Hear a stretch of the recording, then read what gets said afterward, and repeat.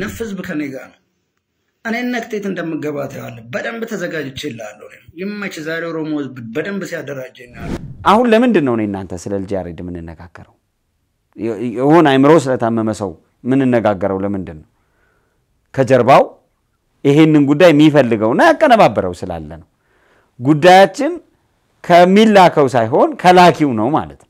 ወደፊት ምን መሆን ትፈልጋለህ ሲባል ያለው ወደ ኋላ ነው ያለው እና ወዳለው እየመጣ ነው ወይስ ወደፊት የሚሄድ ሰው እንዲህ ነው የሚለው የሚል ኦርቶዶክሳዊው በፉጨት እንደሚጠራራ ህዝብ አንድ ሆኖ መቆም እንደሚችል ያሳየበት ዘመን ነበር። አልቆለታል። ወጣቱ ጫት ቤት ነው ያለው። የለም ቤተ ክርስቲያንን ትቷታል። ዝም ብሎ በደመነፍስ ነው የሚመላለሰው።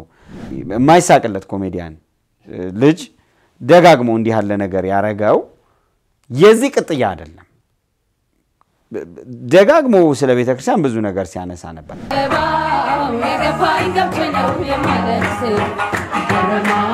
ጦር የላትም እንዲህ የላትም እንዲህ የላትም የሚለው እንደ ቤተ ክርስቲያን የላትም አውቃለሁ፣ ግን እንገልሻለን ሁሉ ሲዛትባት ነበረ። አብረን እንኑር የሚል አይደለም፣ አብረን እንጥፋ የሚል ነው። ማለት አንተ ጠፍተህ እኔ ልዳን የሚልም እኮ አይደለም። ተያይዘን ገደል እንግባ የሚል ሰው ሁሉ አይኑን አስሮ እየተጓዘበት ያለው ነው። ለነሱ የምትመች ዓለም፣ ለነሱ የምትመች ሀገር ዘር በዘር የሚጫረስባት ቋንቋ ከቋንቋ የሚጫረስባት አገር ለመፍጠር መጀመሪያ ቤተክርስቲያንን ማጥፋት አለባት። እኔ ከኦሮሞ ነኝ። ኦሮሞ የሚመታበት ጊዜ እንጂ የሚመታበት ጊዜ አይደለም ብሎ ከሃይማኖት ወጥቶ ወደ ብሔር ጥግ ያዘ። ያኔ አሰሩት። የኔ ከተማ ላይ ነው ያለው። የሚያስተዳድረው ኦሮሞ ኦሮሞ ስር ታድራለህ፣ ትረገጣለህ። አረንጓዴ፣ ቢጫ፣ ቀይ በሚባለው ባንዲራ አልስማማም፣ ቢጫው የኦርቶዶክስ ነው ያሉ ሰው የስፖርትና ባህል ሚኒስትር ናቸው። የሆነ ስሜታዊ የሆነ ሰው ሊደውል ይችላል። ኦርቶዶክሳዊ መሆኑን በምንድን ነው የምትለካው?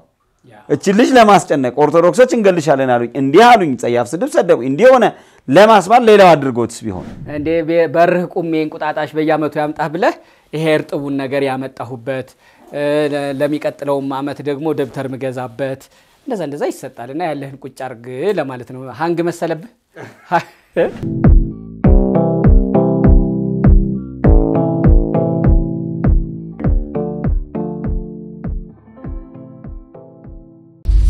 ጊፍት ሪል ስቴት በመሃል ቦሌ እጅግ የዘመኑ ውብና ቅንጡ አፓርትመንት ቤት እንዲኖረው ይፈልጋሉ? ከባለ አንድ መኝታ እስከ ባለ 3 ከ90 ካሬ እስከ 238 ካሬ እንደ ፍላጎቱ በ15 በመቶ ቅድመ ክፍያ ብቻ እንጠብቀውታለን። አዲሱን ዓመት ከጊፍት ጋር በታላቅ ቅናሽ። ለበለጠ መረጃ ይደውሉልን 0973 394180 ወይም 0912 487202 ጊፍት ሪል ስቴት። እንኳን እንኳን አደረሳችሁ አደረሰን ለ2016 ዓመተ ምህረት 2015ን አልፈን ወደ 2016 ስንደርስ በሰላም በጤና ነው እንኳን ባይባል እንዲሁ ተንጠባጥበን ደርሰናል። ለዚህም ክብሩ ይስፋ ነው የሚባለው። እንዴት ናችሁ? ይሄ እግረኛው ሚዲያ ነው።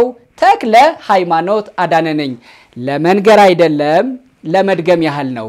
ሼር፣ ሰብስክራይብ ማድረግ ማስደረጉን አትርሱ። እንደ ውለታም ይቆጥረዋል። በ2015 ዓመተ ምህረት የኢትዮጵያ ኦርቶዶክስ ተዋሕዶ ቤተ ክርስቲያን በቅዳሴ በኋላ በአውደ ምህረቷ የእመቤታችንን ታምር መስማት ቀላል አይምሰለው የከበረ ገናና ነውና ተብሎ የሚነገር ትልቅ ታሪክ ትልቅ ተአምረ ማርያሙን በራሱ አውደ መድረክ ወስዶ ይሄን የሚያነቡ በዚህም የሚያምኑ ጣዖት አምላኪዎች ናቸው አለ አገልጋይ ዮናታን አክሊሉ። ቀጠልም አለ በሌላኛው መድረክ እነዚህ ቁሞ ቀሮች ናቸው አለ።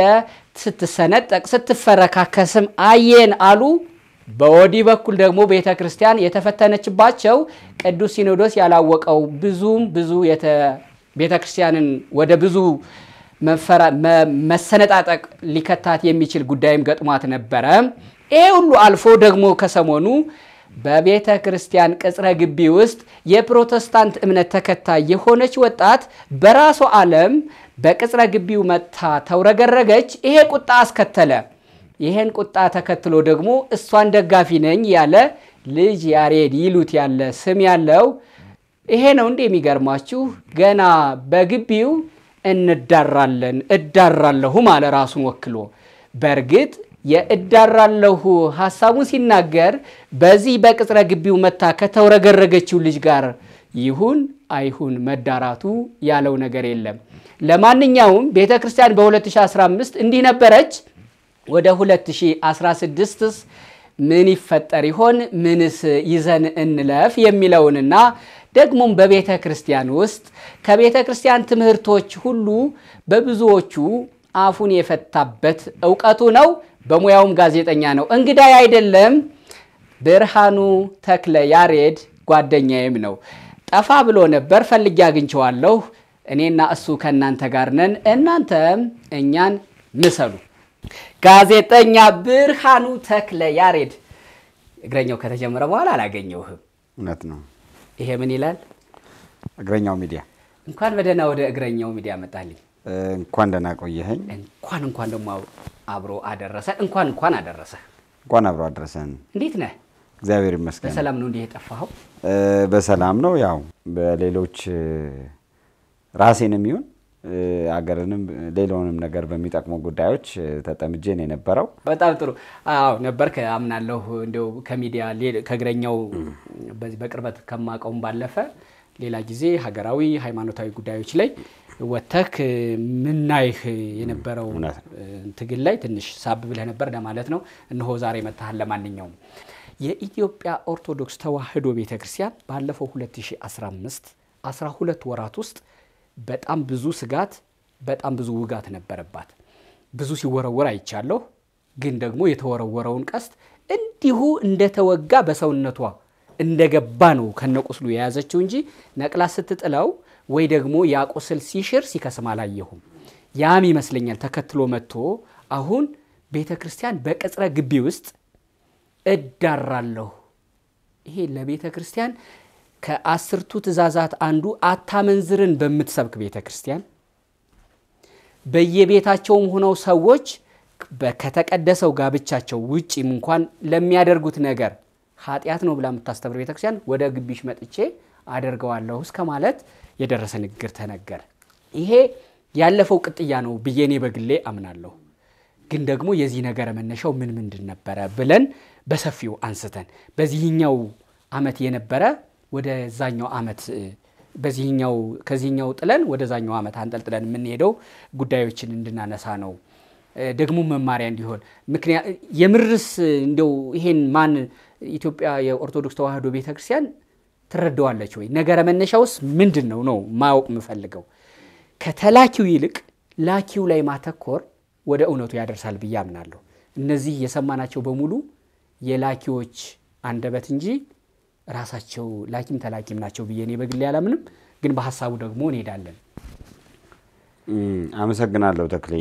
እንግዲህ ለእግረኛው ቤተሰቦች በሙሉ በመጀመሪያ እንኳን ለ2016 ዓመተ ምህረት በሰላም አደረሳችሁ ማለት እፈልጋለሁ። እንግዲህ እግዚአብሔር ፈቅዶ እንደገና ዘመን ጨምሮ ያኛው በጣም አስጨናቂ የነበረውን አመት አልፈን አዲስ አመት ደግሞ ሰጥቶናል። ይሄኛው አዲስ አመት እንደገና እንደ አዲስ እንድንጠቀምበት የተሰጠን ነው።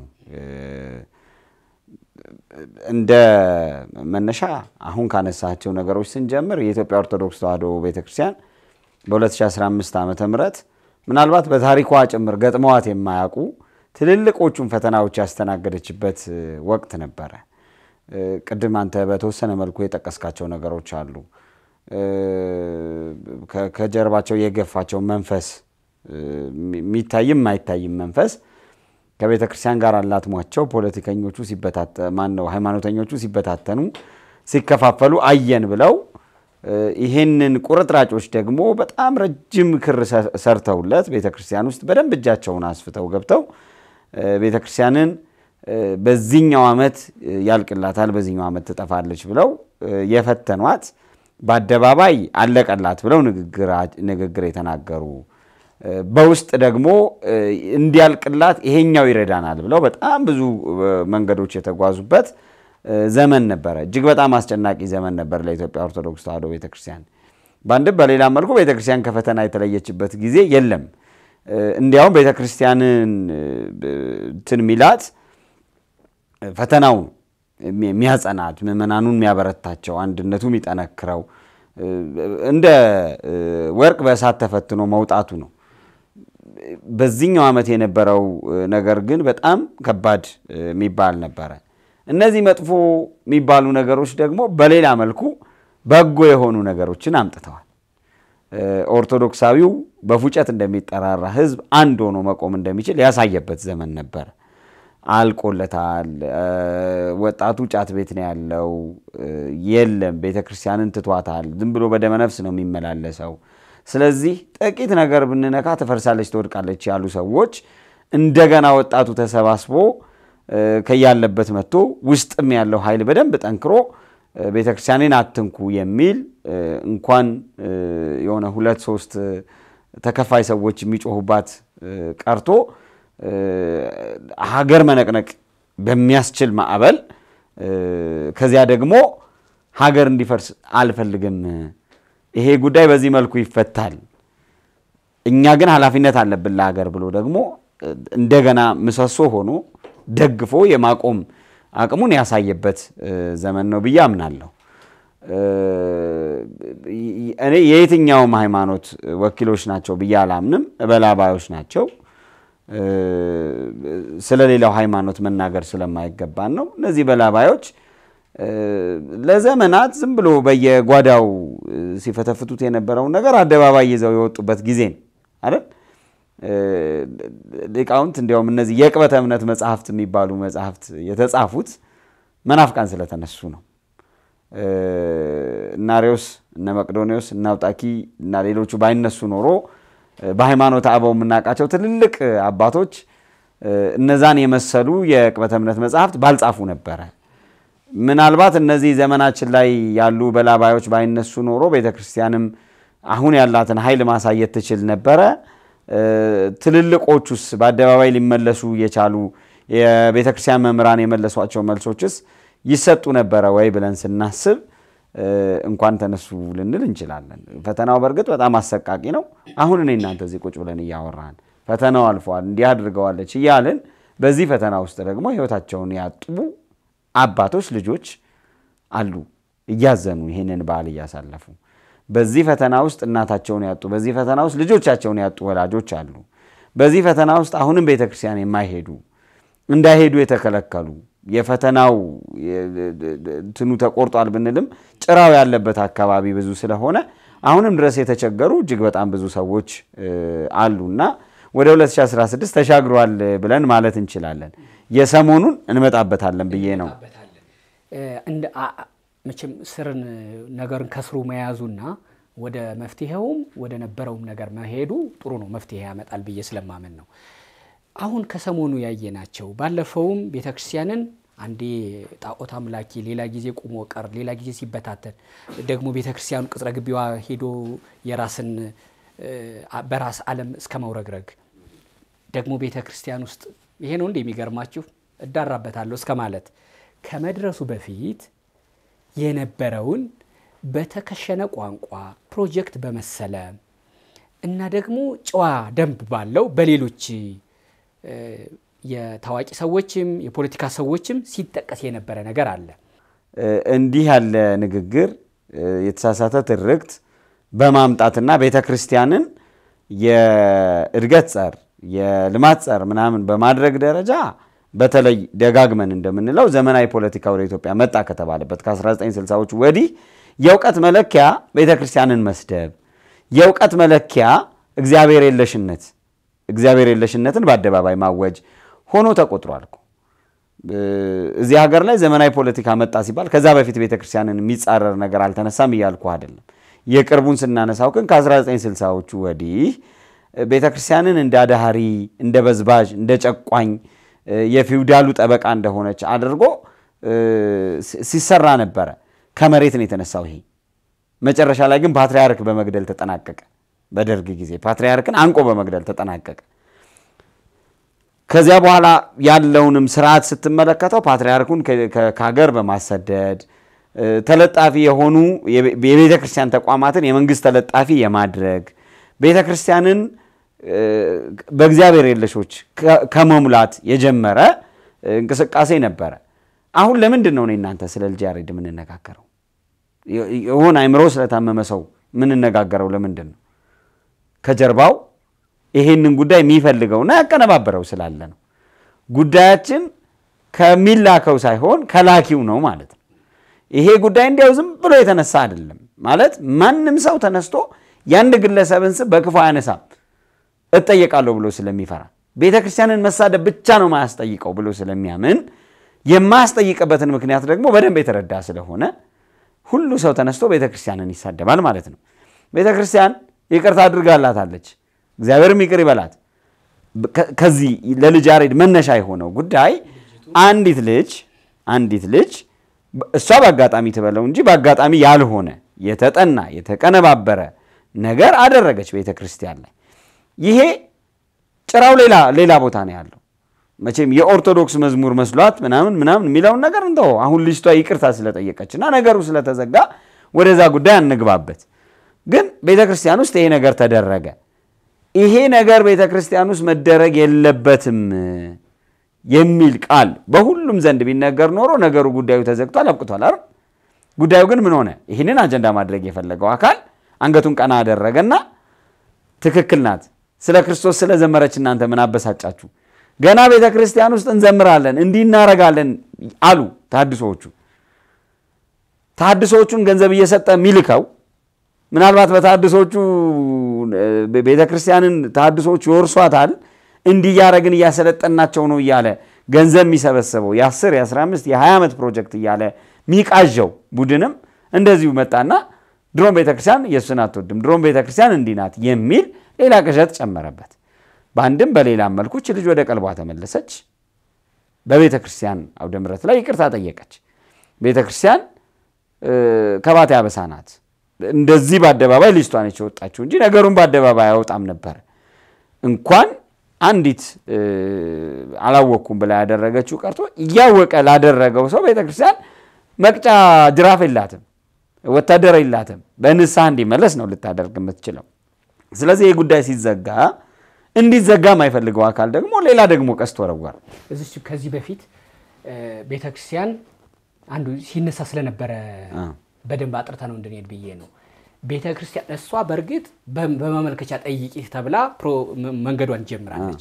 ነገር ግን በተለየ ደግሞ በቲክቶክ በማህበራዊ ሚዲያው እንገልሻለን፣ ታያለሽ፣ እንዲህ የሚል በጣም የተወነጨፈባት በጣም ብዙ ሚሳይል ነበረ አደለ?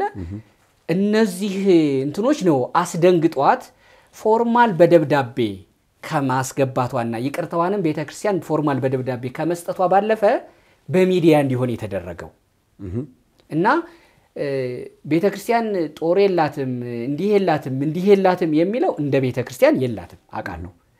ግን እንገልሻለን ሁሉ ሲዛትባት ነበረ። ግን እሱ የሚዳሰስ አይደለም ነው የእኔ መከራከሪያ። ምን መሰለ እንገልሻለን አሉኝ የሚለው የሚዳሰስ አይደለም።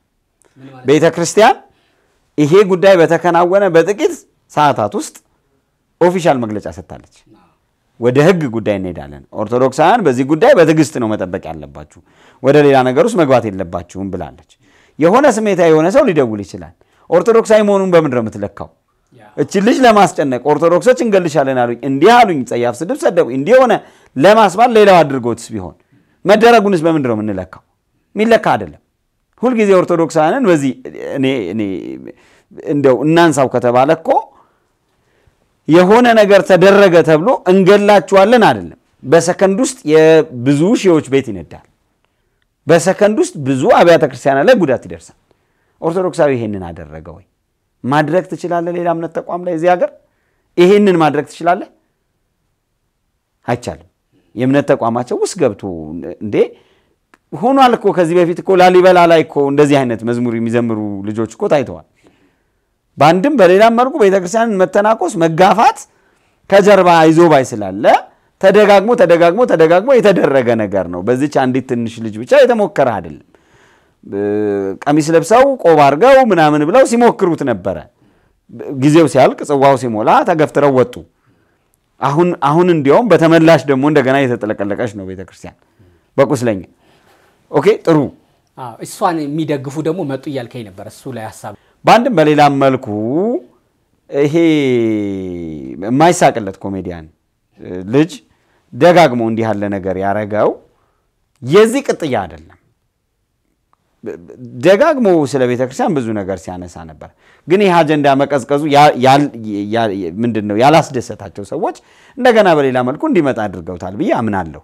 የአንድ ወፈፌ ንግግር ነው ብለን ብናምን ኖሮ እኔ እናንተ ጊዜያችንን አናጠፋም ነበረ። በዚህ ጉዳይ የአንድ ወፈፌ ንግግር አይደለም። እንዲሁ ቤተ ክርስቲያንን በዚህ መልክ ማቃለል ቤተ ክርስቲያን የዛኛው ብሔር፣ የዛኛው ጎሳ፣ የዛኛው ቋንቋ፣ የዚኛው ወይም የዛኛው ናት ለማለት መስመር እያሰመሩ ያሉ ሰዎች በእንዲህ ያሉ ሰዎች ስለሚጠቀሙ ምንድን ነው አንዳንድ ጊዜ እኔ አልገባበትም ያልከውን ጸብ በእብድ ድንጋይ ታስወረውራለህ። ዝም ብለህ ሲጋራም የሆነም ነገር ምናምን ገዝተህበት በእብድ ድንጋይ ታስወረውራለህ። የእብድ ድንጋይ ወርዋሪዎች ናቸው እነዚህ እና ድንጋይ ከሚወረውረው እብድ ጋር አትጣላም። ከላከው ጋር እንዲህ አርግ ካለው ጋር ነው መነጋገር የሚገባው ብዬ የማምነው እና ሰሞኑን የተከናወነው ነገር እኛ እዚህ አንደግመውም። ሰማዕታት የሞቱላት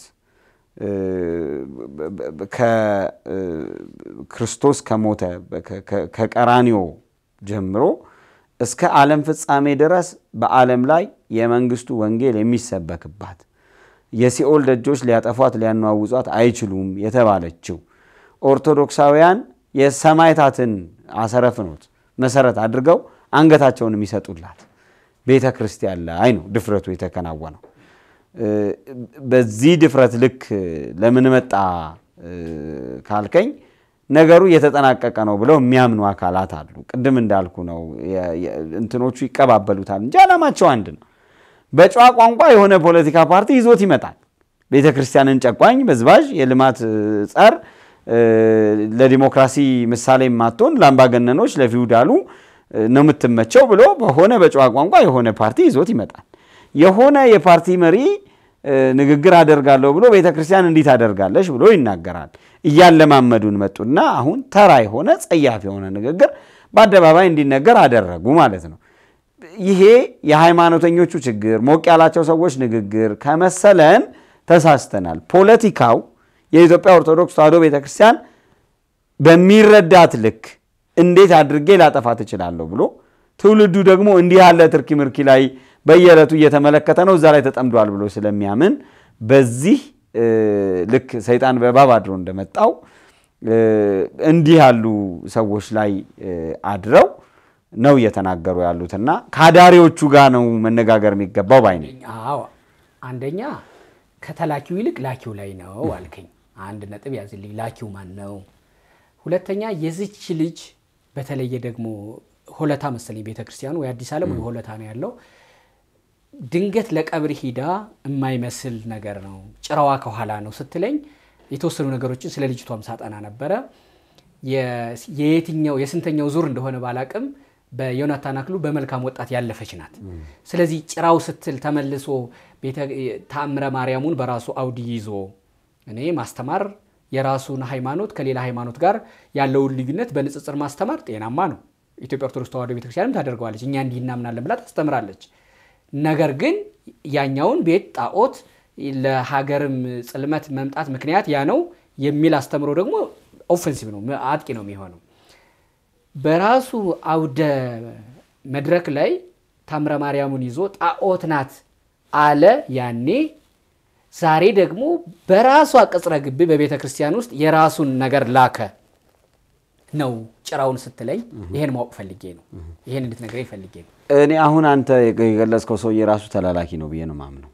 ላኪ አይደለም ማለት የእንትን ደረጃቸው ሊለያይ ይችላል። የኢትዮጵያ ኦርቶዶክስ ተዋሕዶ ቤተክርስቲያን ቅድም እንዳልኩት ጥንተ ጠላቷ ዲያብሎስ ነው። ትውልዱን እግዚአብሔር የለሽ ለማድረግ አንድ፣ በሌላ መልኩ አገረ መንግስት የሚባል ቁመና ያለው አገር እሴት ያለው ባህል ያለው ወግ ያለው ታላቅ የሚከበርበት ጎረቤት ለጎረቤት የሚጠያየቅበት አንዱ ከአንዱ ጋር በዘር ላለመለያየት እየታገለ ያለበት አንድ ሀገረ መንግስት የሚባል ነገር ላይ ያንን ሀገረ መንግስት ማፍረስ የምትችለው ማጥፋት የምትችለው ኢትዮጵያ ኦርቶዶክስ የሚባል አምድ ነቅንቀ ስጥል ነው ብለው የሚያምኑ አካላት አሉ። እውነት እንነጋገር፣ ለምን እንሸፍነዋለን? ቤተ ክርስቲያንን ነቅንቀው ትውልዱን እግዚአብሔር የለሽ ለማድረግ በተወሰነ መልኩ ከተሳካላቸው በኋላ አይደለም እንዴ ጎረቤት ለጎረቤት ባልና ሚስት በዘር ምክንያት የተገዳደለው? ባልና ሚስት እኮ በዘር ምክንያት ተገዳድሏል። ሚስት ባሏን ገላለች፣ ባል ሚስቱን ገሏል። ምንም አይነት ጸብ የሌላቸው ተፋቅረው ልጆቻቸውን ሲያሳድጉ የነበሩ ሰዎች አንተ የዚኛው ዘር ነህ፣ አንቺ የዚኛው ዘር ነች ተባብለው ማለት ነው። ምንድን ነው ያልተሰራው? እንዳትሰብክ ከተደረገ በኋላ አብያተ ክርስቲያናት ከነደዱ ከጠፉ በኋላ ምንድን ነው ያልተሰራው በዚች ምድር ላይ?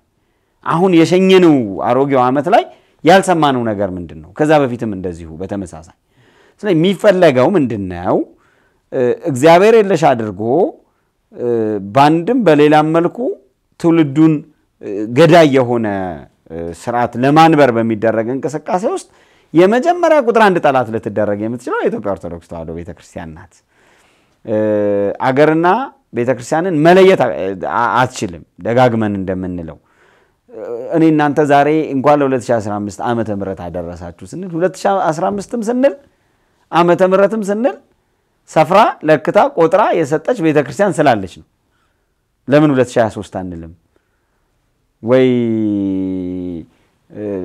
የሆነ ዓመተ ምህረት ጠቅሰን በሌላ እንትን ለምን አንጠራም? ለምን 2015 አለን? ዓመተ ምህረት መባሉ ስለምንድን ነው ስንል ከኢትዮጵያ ኦርቶዶክስ ተዋሕዶ ቤተክርስቲያን ጋር የተገናኘ የተያያዘ መሆኑ ይታወቃል። በዚህ አገር የምትኮራበት ዓለም ደንቆት የሚያየው የዘመን አቆጣጠር ያለንን ሌሎቹም ጉዳዮች ስነ ህንፃው፣ ኪነ ጥበቡ፣ ስነ ጥበቡ እና ሌሎችም ጉዳዮች በሙሉ ፊደሉ፣ ሌላው ሌላው ነገር ሁሉ ከኢትዮጵያ ኦርቶዶክስ ተዋሕዶ ቤተክርስቲያን ጋር የተገናኘ ነው። ስለዚህ ቤተክርስቲያንን ጨቋኝ፣ ቤተክርስቲያንን የሌሎችን መብት የማታከብር ቤተክርስቲያንን እንዲያው ዝም ብሎ የሆነ ሴሪሞኒ የሚከናወንባት ብቻ መንፈሳዊነት የሌላት አድርጎ በመሳል ሃይማኖት ከትውልዱ አይምሮ ሃይማኖትን ብቻ አይደለም አገርን ማጥፋት ትችላል። ለዛ ነው በዚህ ልክ የሰሩበት። የመጣ ፓርቲ፣ የመጣ አክቲቪስት፣ የመጣ አንቂ።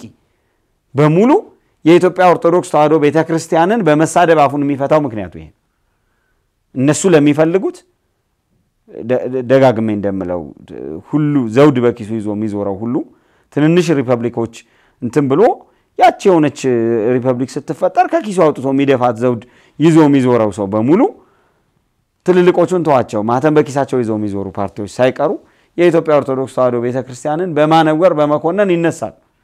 60 ሚሊዮን ያህል ተከታይ ያላትን በዓለም በሙሉ የኢትዮጵያ ኦርቶዶክስ ተዋሕዶ ቤተ ክርስቲያን መዋቅር የዘረጋችውን ክርስቶስ ዕለት በዕለት የሚሰበክባትን የክርስቶስ ስጋና ደም በየዕለቱ ለምዕመናን የሚቀርብባትን ስሯ ምድራዊ ነው ይባል እንጂ ቅርንጫፎቿ በሰማይ ያሉትን እችን ቅድስት ቤተክርስቲያን በመሳደብ ነው ሁሉ ሰው አፉን የሚፈታው።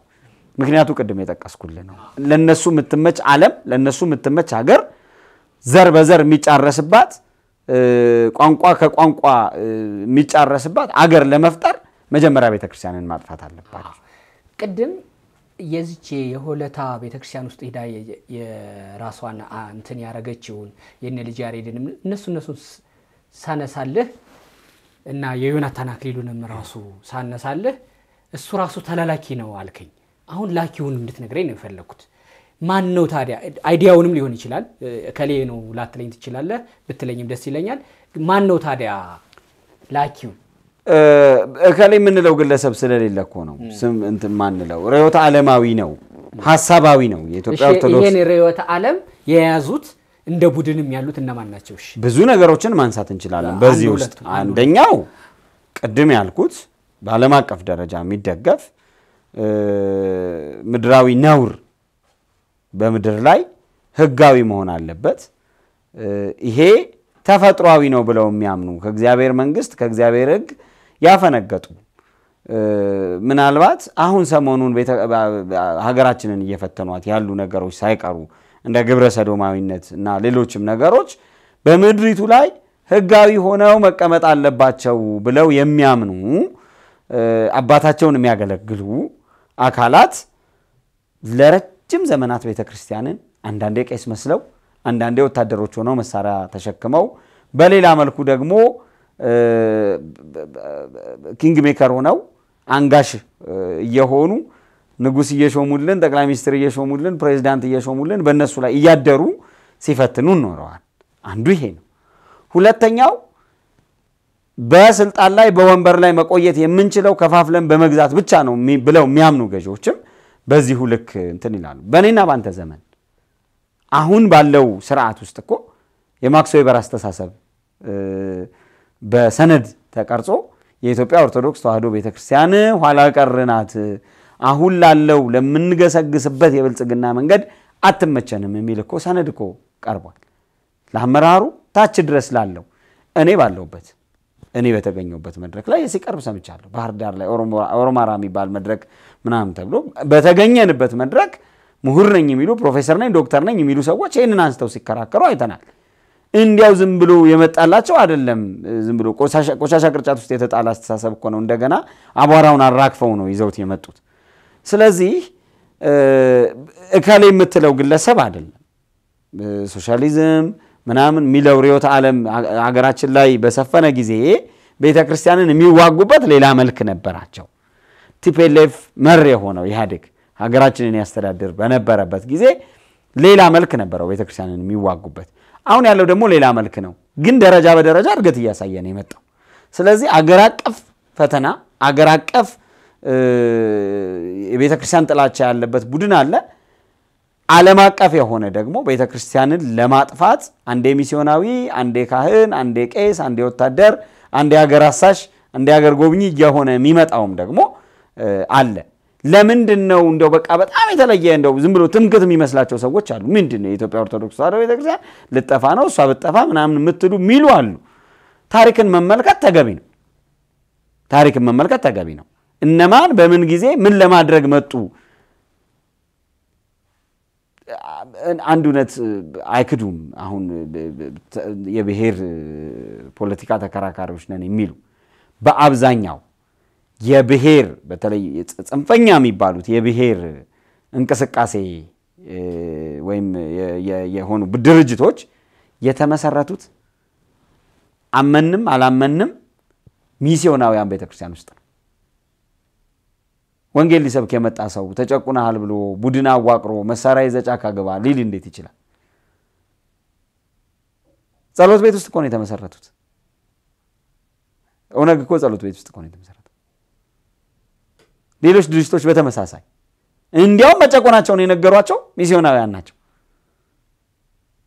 አሁን እሱ አጀንዳችን ስላልሆነ ጭቆናው ነበረ ወይ መነጋገር እንችላለን። በእርግጠኝነት መነጋገር የምንችለው እከሌ የሚባል ብሔር እከሌ የሚባል ሃይማኖት በእቅድ የጨቆነው የጨቆነው ቡድን የጨቆነው የሆነ የቋንቋ ማህበረሰብ አልነበረም። ግን ሚስዮናውያኑ ከመጽሐፍ ቅዱስ ጋር አብረው ማኒፌስቶ ይዘው ነው የመጡት። የነፃነት መታገያ እና ትምክት አይደለም። ይሄ ለዘመናት ሲሰራበት የነበረ ነገር ነው።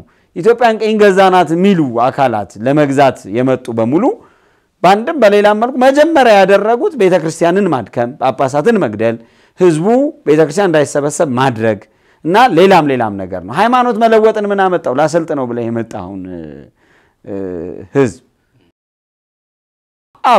በዚህ ሂደት ውስጥ በትክክለኛው እግዚአብሔራዊ መንገድ በትክክለኛው ክርስቶሳዊ መንገድ ስልጣኔን ያመጣች ብርሃንን እያሳየች ያለች ቤተ ክርስቲያንን ባጠፋህ ቁጥር የምታመጣው ተቃራኒውን ነው። ስለዚህ እነዚህ አካላት ትናንት ነበሩ፣ ለረጅም ጊዜ ቤተ ክርስቲያንን ሲፈትኗት ኖረዋል። አሁን ደግሞ ግሎባላይዜሽኑ ተመችቷቸው አሁን ዓለም ላይ ያለው ራሱ ዓለም ወደ አንድ መንደር እየመጣች ነው የሚሉት ነገር በሙሉ ተመችቷቸው ደግሞ መልካቸውን ቀይረው በአደባባይ መጥተው ሳይደበቁ ደግሞ ይህንን ማድረግ ጀምረዋል ማለት ነው እና እኔ እናንተ ስለ ራሱ ስለ ጸጉሩ ስለ ምናምኑ ረስቶ ዝም ብሎ አፉ ላይ ያመጣለትን ስለሚያወራ ሰው አይደለም የምንነጋገረው። አሁን ከዚህ ጀርባ ሀገርንም ቤተ ክርስቲያንንም ለማጥፋት ያደፈጠ ኃይል አለ። ከዚሁ እዚሁ ጋር ተያይዘህ እዚሁ ጀርባ አልከኝ። ቤተ ክርስቲያን ውስጥ እኮ ታዲያ ለምሳሌ እኔ አንድ ፎቶ አይቻለሁ ከልጅ ያሬድ ጋር ባለፈው በጥር 14ቱ ሹመት ጊዜ የነበሩት የማን ነው ስማቸውን ገብረ እግዚአብሔር ረጋሳ ናቸው። እሳቸው አብረው ነበሩ። ስለዚህ ቤተ ክርስቲያንም አባ- አባት ሆነው የነበሩ ያሉ አሁንም አሉ። በእርግጥ እንዲህ አይነት ሰዎች ቅጥልጥሎሹን ስንሄደው ከአባ ገብረ እግዚአብሔር ነው የሚባሉት ገብረ እግዚአብሔር ገብረ ማርያም ነጋስ እሳቸውን ል- ልጅ ያሬድና እሳቸውን ካየን እሳቸው ደግሞ የሚያገኙትና ከእሳቸው አብረው የሚውሉት ደግሞ ሌላ ሊቀ ጳጳስም ምን ምንም ደግሞ እዛው ቅዱስ ሲኖዶስ ውስጥ አለ። ስለዚህ የተያያዘ እኮ ነው። already ወይ ገብተዋል ማለት ነው። አይ ዶቶቹን ስንቀጣጥላቸው የቤተ ክርስቲያን ጠል የሆኑ ሰዎች አንድ መንደር ታገኛቸዋለህ። ዶቶቹን ስንቀጣጥላቸው እዛው ቤተክርስቲያን ውስጥም አሉ ነው ደግሞ የኔ አባቶችም ራሱ ለምሳሌ ይሄን የጠቀስኩት ምንድን ነው መለኪያው? የአባቶች መለኪያ ምንድን ነው? አሁን አንተ የምትላቸውን ሰው እኮ በአባትነት ያወቅናቸው ሲሾሙ ነው። ይቅርታ እኔ እንደዚህ ነው ማቀው፣ እውነቱን መነጋገር ስላለብን ጳጳስ ሆንኩኝ ሲሉ ነው ማውቃቸው። አላውቃቸውም ከዛ በፊት ይህንን የምለው የእውቀቴ ልክ እዚህ ድረስ ስለሆነ ነው። እሳቸውን አካባቢያችን ላይ እንዲህ አድርገውልን ነበር፣ አገልግለውን ነበር ምናምን የሚሉ ሰዎች ካሉ ሊናገሩላቸው ይችላል። ዶቶቹን ከቀጣጠልናቸው ግን የሆነ ሃይማኖት ውስጥ ያለ ትልቅ መምህር የምትለው ሰው ከዚህ ጋር ታገኘዋለህ። ቀጥሎ ምናምን እንዲህ እያለ እንዴ ቤተክርስቲያን እኮ የተፈተነ ለምን እውነቱን አንነጋገረውም? ጥር 14 ይህ ሹመት ተፈጸመ በተባለ ማግስት አባቶች በቃ ታርቀናል ብለው ሲመለሱ እንዴት አባቶች ይመለሳሉ ያለው እኮ አብዛኛው ኦርቶዶክሳዊ አይደለም ነው። አብሮ ሆቴል ሲመርቁ ነበር አንዳንድ ቦታዎች ላይ በሆቴል ምርቃት ውስጥ ለእነዚህ ሰዎች እውቅና እየሰጡ እኔ አይደለሁም እሱ ይባርከው በሬውን እየተባለ ይገባል እከሌ ነው ጳጳሳችን ብሎ እኮ መግለጫ የሰጡ የሌላ እምነት እኮ ተከታዮች ሰዎች እኮ ዶቶቹን በቀጣጠልናቸው ቁጥር ፕሮጀክቱ እንዲያው ዝም ብሎ ቀሚስ መልበስ የፈለገ ቆም ማድረግ የፈለገ አካል ያደረገው አይደለም። ጌታዋን የተማመነች በግ ነው ላቷን ውጭ ታሳድራለች እንደሚባል ምንም አታመጡም የሚል ነው። በዚህ ውስጥ የተሸወደ በአንድም በሌላም መልኩ ቤተክርስቲያንን ጠቅሚያት ይሆን ያለ ምናምን ሊኖር ይችላል። generalize አናረገውም። አሁን ስለጠየቀኝ ነገር እንደ እውነቱን እንነጋገር ከተባለ ይሄ አሁን የምትለው ልጅ እኮ ከእኚህ እ፣ ሰው ጋር ፎቶ የተነሳው የሆነ አጋጣሚ ላይ ተገናኝተው አይደለም። ተሾሙልን አባታችን ማን ነው ወንድ የሚነካቸው ብሎ እኮ ነው ፎቶን ራሱ post ያደረገው። ከዚህ በፊት ወዳለው ብንመለስ ስለዚህ ለምንድን ነው የሚደንቀን እንትኑ ማለት የጎሳ ክልል የጎሳ ምናምን ምናምን የሚለውን ነገር አንቀበልም ቢስተካከል ምናምን በሚል ህዝብ መሃል የብሔር ሲኖዶስ፣ የብሔር ቤተ ክህነት፣ የብሔር ኮታ ያለው ጵጵስና፣ የብሔር ኮታ ያለው የመንፈስ ቅዱስ ሲመት እናከናውናለን የሚሉ አካላት ከነዚህ ጋር በምድር ቢለያዩት፣ አየህ ያ ጉዳይ በእርቅ ተፈታ። በዚህ ጉዳይ ውስጥ ነበርንበት የሚሉ አካላት አሁን ቤተክርስቲያንን ለመካስ እየሰሩ ነው። በዚህ ሂደት ውስጥ ግን እናንተ ብትመለሱም የሾሟቸውን ሰዎች እናንተ ብትመለሱም እኛ ግን አንመለስም ማለት ምን ማለት ነው? እና የመንፈስ ቅዱስ ሲመት ቢሆን እኮ እዛ ውስጥ ታገኘዋለህ። እና በአንድም በሌላም መልኩ ከጀርባ በደንብ አድርጎ አቀነባብሮ ቤተ ክርስቲያንን በዚህ መልኩ ብንፈትናት ደግሞ በዚህ ደግሞ ሳታርፍ በዚህ በኩል ደግሞ ብንመጣባት አሁን ይኸው ሳታርፍ ቤተ ክርስቲያን እረፍት ሳታገኝ እንደገና ሌላ ሲኖዶስ ደግሞ መሰረትን የሚሉ አካላት ብቅ አሉ አይደለ? አሁን ይሄኛው እረፍት ሳይገኝ ደግሞ በስድብ የሆነ ነገር በማድረግ ምናምን አሁንም busy ያደረገዋል። ቤተ ክርስቲያን የሚጠብቃት ሰው አይደለም። እንደው ሰዎች ሆነው የምናያቸው ሰዎች መዋቅሩ ላይ የተቀመጡ ሰዎች ቤተክርስቲያንን ለመጠበቅ የሚችሉትን ሁሉ ያደርጋሉ፣ እያደረጉ ነው። ብዙ መመስገን የሚገባቸው አካላት አሉ። አጠቃላይ ኦርቶዶክሳዊው ስለሆነ እነከሌ ብለን የማናመሰግን ስለሚሆን እንጂ ግን የቤተ ክርስቲያን ጠባቂዋ ክርስቶስ ነው። እየተጋጩ ያሉት ከክርስቶስ ጋር ነው። ልክ ለሳውል ለቅዱስ ጳውሎስ እንደተነገረው የመውጊያውን ብረት ብትረግጥ ለአንተ ይብስብሃል፣ የሾለውን ብረት ብትረግጥ። ስለዚህ ለእነሱ ይብስባቸው ይሆናል እንጂ በደንብ በተጠና መልኩ በአንድ በኩል የሆነ የሃይማኖት ቅርጽ የያዙ ፓስተሮች ነን የሚሉ ኡስታዞች ነን የሚሉ ምናምን ሰዎች ተቧድነው የሚያደርጉት በሌላ በኩል ቤተ ክርስቲያን ውስጥ ያሉ አካላት ልባቸው ውጭ የሆነ ማለት ነው። ኒቆዲሞሳውያን ቀን ቀን እዚህ የሚማሩ ሌሊት ሌሊት ደግሞ እዛ ሄደው የሚማሩ አካላት፣ በሌላ በኩል ደግሞ መለካውያኑ ፖለቲካውን ተማምነው ጀርባዬ ከሌ ነው ብለው ሹመት ለማግኘት ገንዘብ ለማግኘት እንዲህ ለማለት የሚንቀሳቀሱት በአንድም በሌላም መልኩ እነዚህ ሁሉ ዶቱን ብገጣጠመው የአንድ እናት ልጆች የአንድ አባት ልጆች ሆነው ታገኛቸዋለህ። እናት ቤተክርስቲያንን ለመውጋት የሚመጣ ሁሉ የሆነ ዝምድና ታገኝበታለህ። ዝምድና ምለው በዘር በቋንቋ በደም ምናምን አይደለም። አስተሳሰብ የአስተሳሰብ ዝምድና አለ። ምናልባት ኑፋቄው ይለያይ ይሆናል እንጂ አሪዮስም፣ ንስጥሮስም፣ መቅዶኒዎስም፣ አውጣኪም ሌሎቹም የኑፋቄ ዝምድና አላቸው።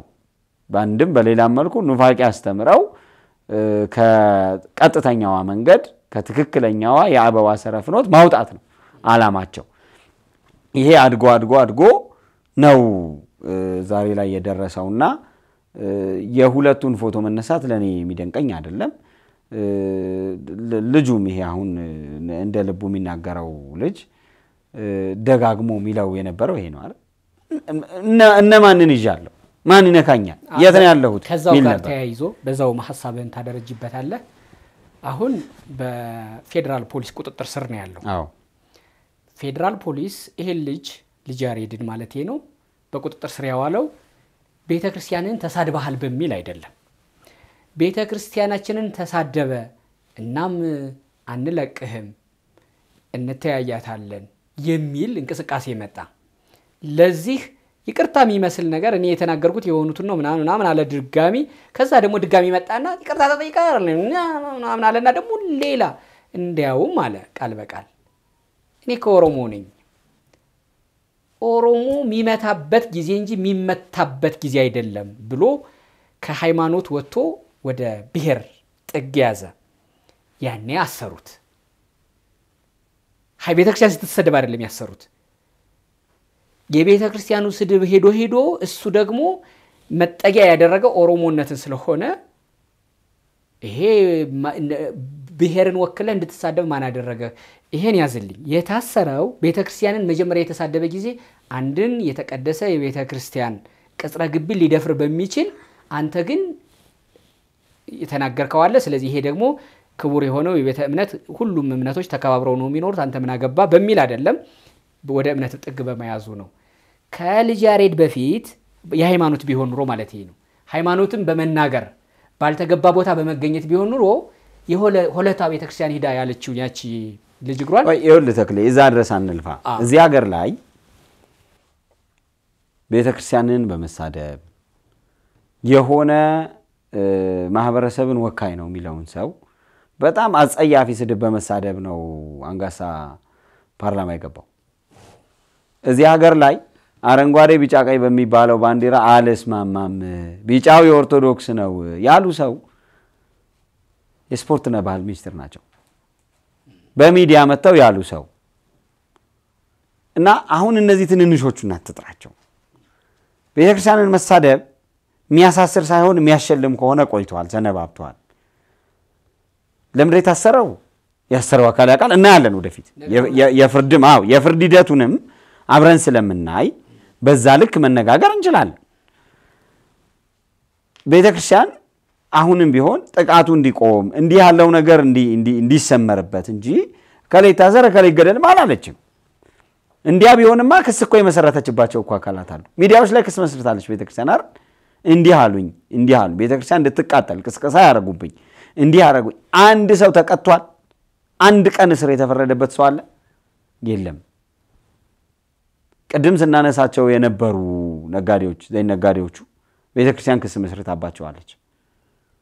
አንድ ሰው ክሰሱን በአደባባይ መጥተው አንድ ሰው በቃ ምንም ሊያመጣብን አይችልም እኮ ነው ያሉት እኮ ዮናታን። ምን ሆነ? ምንም። ስለዚህ ቤተክርስቲያንን በመሳደብ ቤተክርስቲያንን በመግፋት የሆነ አካል እንደው ሕግ ይከበራል ለታሪክ ለትውልድ ያቆየኸው የምትሄደው ካልሆነ በስተቀር ማለት ነው። ልጅ እንደው ለጤንነቱም ቢታሰር ትንሽ ረፍት ቢወስድ ምናምን ይጠቅም ይሆናል። በተወሰነ መልኩም ቢሆን ማረሚያ ቤቱን የምናውቀው ስለሆነ እንደው ከሱስም ከምንም ለመጠበቅ ይጠቅም ይሆናል ይሄ ጉዳይ። ይሄንን ጉዳይ በሕግ መደንገግና ቤተ ክርስቲያንን የተናገረ ሰውን የተናገረ አካልን መቀጣጫ ማድረግ ካልቆመ ከንግግር አልፎ እኮ እሳት ቃጠሎ የሆነ ሰው መጥቶ ጋዝ ይዞ ቤተ ክርስቲያንን መጫር እኮ እንደ normal የተቆጠረበት እኮ ጊዜ ነው። ስለዚህ ለንግግሮቹ አይደለም መልስ እየሰጠን ያለ ነው እየተነጋገርን ያለ ነው። አሁን ምልህ መልስ የሚሰጠውም ንግግር እኮ አይደለም አይደል? መንገድ ላይ እንኳን አደርገዋለሁ የማትለውን ነገር ነው። ቤተ ክርስቲያን ውስጥ እንዲህ አደርጋለሁ እንዲህ ይሆናል እንዲህ ይሆናል ያለው ለእሱ አይደለም መልስ የሚሰጠው። ቤተ ክርስቲያንን ያጠቁ ሰዎች የሚሾሙባት የሚሸለሙባት የምትሆነው እስከ መቼ ድረስ ነው ኢትዮጵያ? ቤተ ክርስቲያንስ በአጀንዳ ላይ አጀንዳ እየተደረበባት ይልቁኑ በአጀንዳ ላይ አጀንዳ ከመደረብ ጎን ለጎን ቤተ ክርስቲያንን መምራት አልቻሉም፣ እነከሌ መሪዎቿ እንዲህ አላደረጉም እየተባለ በቤተ ክርስቲያን በአባቶችና በልጆች መሀል ያለውን ድልድይ መስበር፣ በአባቶችና በአባቶች መሀል ያለውን ፍቅር መቁረጥ ምናምን የሚቀጥለው እስከ መቼ ነው? በዚህ ጉዳይ በዛ በኩል እንዲህ እያደረጉ ያሉ አካላት ባያቆሙ እንኳን ኦርቶዶክሳዊው ነቅቶ አባቶች ነቅተው ይሄ ጉዳይ ባያቆምም እኛ ግን አንድ ሆነን እንቆማለን የሚሉበት ጊዜ መቼ ነው? በጣም እኮ ቅድም እንዳልኩ እኮ በጣም በሚገርም ሁኔታ እኮ ኦርቶዶክሳዊ አንድነቱ እየጠነከረ መጥቷል። ፈተና ሲመጣ ማን ነው የ eve concert የሚሰርዝልህ? የትኛው ኦርቶዶክሳዊ ሲዘጋጅ እቁብ ሲጥል አይደል ሌላ ኮንሰርት እንትን ይል የነበረው አይደለ? አባቶች ጥሪ ሲያቀርቡ አዎ ይሄ ጉዳይ ትክክል አይደለም፣ ምህላ ታዟል፣ ጸሎት ታውጇል፣ ለዚህ ጉዳይ ነው የምንገዛው። ከዚህ ጎን ለጎን ደግሞ በዋዜማው ላይ ለኮንሰርት የተጠራ እከሌ የሚባል የቤተ ክርስቲያን ጠላት እንዲህ እንዲህ ተብሎ አደለ ማለት ራሱ ኮንሰርቱ ውስጥ ብዙ ሚሊዮን ብሮች ሊያገኙ የሚችሉ ሰዎች ብሩ ይቅርብን እያሉ አደለ የወጡት። በዚህ ልክ መናበብ እየመጣ ነው፣ ልናመሰግነው ይገባል። ግን ይህንን ጉዳይ ይፈታሉ የተባሉ ተቋማት ምን እየሰሩ ነው? እኔ አሁንም እየገባኝ አይደለም። የሃይማኖት ተቋማት ጉባኤ የሚባለው ምን እየሰራ እንደሆነ ቤተ ክርስቲያን መግለጫ ካወጣች በኋላ ፖሊስ የሆነ ሰው ካሰረ በኋላ ምናምን ይናገራል። ይህንንም አንድ ተራ ጋዜጠኛ በዜና መልኩ ይናገረዋል። ምንም እኮ እንትን የሚል አይደለም። የተቋቋሙት እንሰብሰብ ያሉት በጋራ እንቁም ያሉት መቼም በጋራ ለማምለክ አይደለም። ዶግማቸውም ቀኖናቸውም ይህንን አይፈቅድም። በጋራ የሚመለክ አምላክ አይደለም። እያንዳንዱ አስተምሮ አለው፣ ዶግማ አለው፣ ቀኖና አለው፣ የሚያመልከው አምላክ አለ። ዶክትሪኑን ተከትሎ ያመልካል። እንደው በጋራ በአንድ ሀገር የምንኖር ስለሆንን አንዱ ላይ ችግር ሲፈጠርበት በጋራ እንፍታለት፣ በጋራ ተው እንበል። እኛንም የሚያዳምጠን የሆነ የምንወክለው ማህበረሰብ አለ፣ ያንንም የሚያዳምጠው የሆነ ማህበረሰብ አለ። አይደለም የሚባለው የኢትዮጵያ ኦርቶዶክስ ተዋሕዶ ቤተክርስቲያን ላይ ችግር ኖሮ በጋራ መግለጫ እንስጥ ተብሎ የሃይማኖት ተቋማት ከተጠሩ በኋላ አንሰጥም ብለው እኮ ነው የጠፉት። ነው አይደለም? በጋራ እኮ መግለጫ መስጠት አልቻሉም፣ ለጥቃት እንኳን። ምንድን ነው እየሰራ ያለው? የየትኛው አካል አገልጋይ ነው? ራሷቸውን ቤተክርስቲያን አሁን በኢትዮጵያ ኦርቶዶክስ ተዋሕዶ ቤተክርስቲያን ውስጥም እኔ እየሰሩት ያለው ስራ እንዲህ አይነቱን ችግር የምር ይቀርፋል ወይ የሚል የኔ ግል ጥያቄ አለኝ። በተለይም በሚዲያውም አንድም ሆኖ ግንባር ፈጥሮ ህብረት አድርጎ ማለት ነው። ለምሳሌ ቤተክርስቲያንን ለመከላከል የሚመስል የግለሰብ ሚዲያዎች በጣም ብዙ እንትን ብለዋል። እንዲሁ ከውጭ እንኳን ትተን ውስጥ ስራሱ ያለው ቤተ ክርስቲያንን በደንብ ይከላከላታል ወይ? ህብረቱ መጥቷል። ምዕመኑ ልክ ከላይ ያሉ አባቶችና እታች ያለው ምዕመን ይናበባል። እታች ያለው ምዕመን አባቱን የመስማት ችግር የለበትም። እላይ ያለው አባትም ለልጆቹ ማስተላለፍ ላይ ችግር የለበትም። መሀል ላይ ግን ዋልሏል። እኔ የማየው ነገር ነው። ጊፍት ሪል ስቴት በመሃል ቦሌ እጅግ የዘመኑ ውብና ቅንጡ አፓርትመንት ቤት እንዲኖረው ይፈልጋሉ? ከባለ አንድ መኝታ እስከ ባለ 3 ከ90 ካሬ እስከ 238 ካሬ እንደ ፍላጎቱ በ15 በመቶ ቅድመ ክፍያ ብቻ እንጠብቀውታለን። አዲሱን ዓመት ከጊፍት ጋር በታላቅ ቅናሽ። ለበለጠ መረጃ ይደውሉልን 0973 394180 ወይም 0912 487202 ጊፍት ሪል ስቴት። ሚዲያን በተመለከተ ካነሳው መጠነኛ የሆኑ ችግሮች አሉ። በመሰረቱ ምናልባት እንደ ኤኦቲሲ እንደ ማህበረ ቅዱሳን አይነት ሚዲያዎች ካልሆኑ በስተቀር እነሱ already የቤተ ክርስቲያኒቷ ልሳን ስለሆኑ እንዲህ ያሉ ሚዲያዎች ካልሆኑ በስተቀር ሚዲያ አይጠመቅም። ኦርቶዶክሳዊ ሚዲያ ምናምን ሚዲያ ምናምን ልትል አትችልም።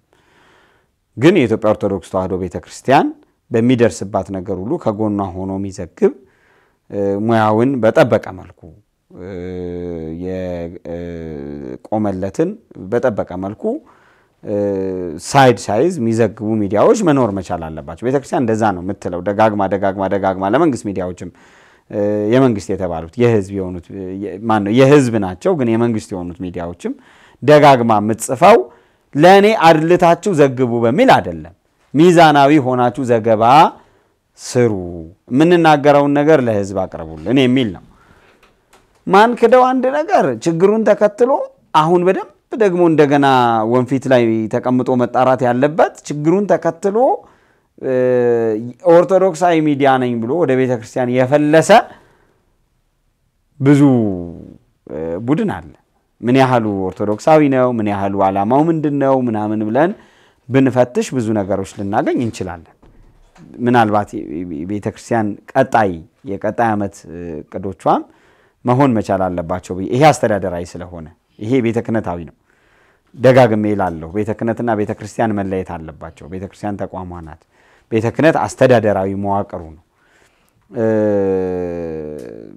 በጠንካራ ጎን የምንወስዳቸው በጣም ብዙ ነገሮች አሉ። ቅድም ያልኳ አንድነቱ የተገነባው ስለተደከመበት ነው እና የቤተ ክርስቲያን ራስ ክርስቶስ ስለሆነ ነው።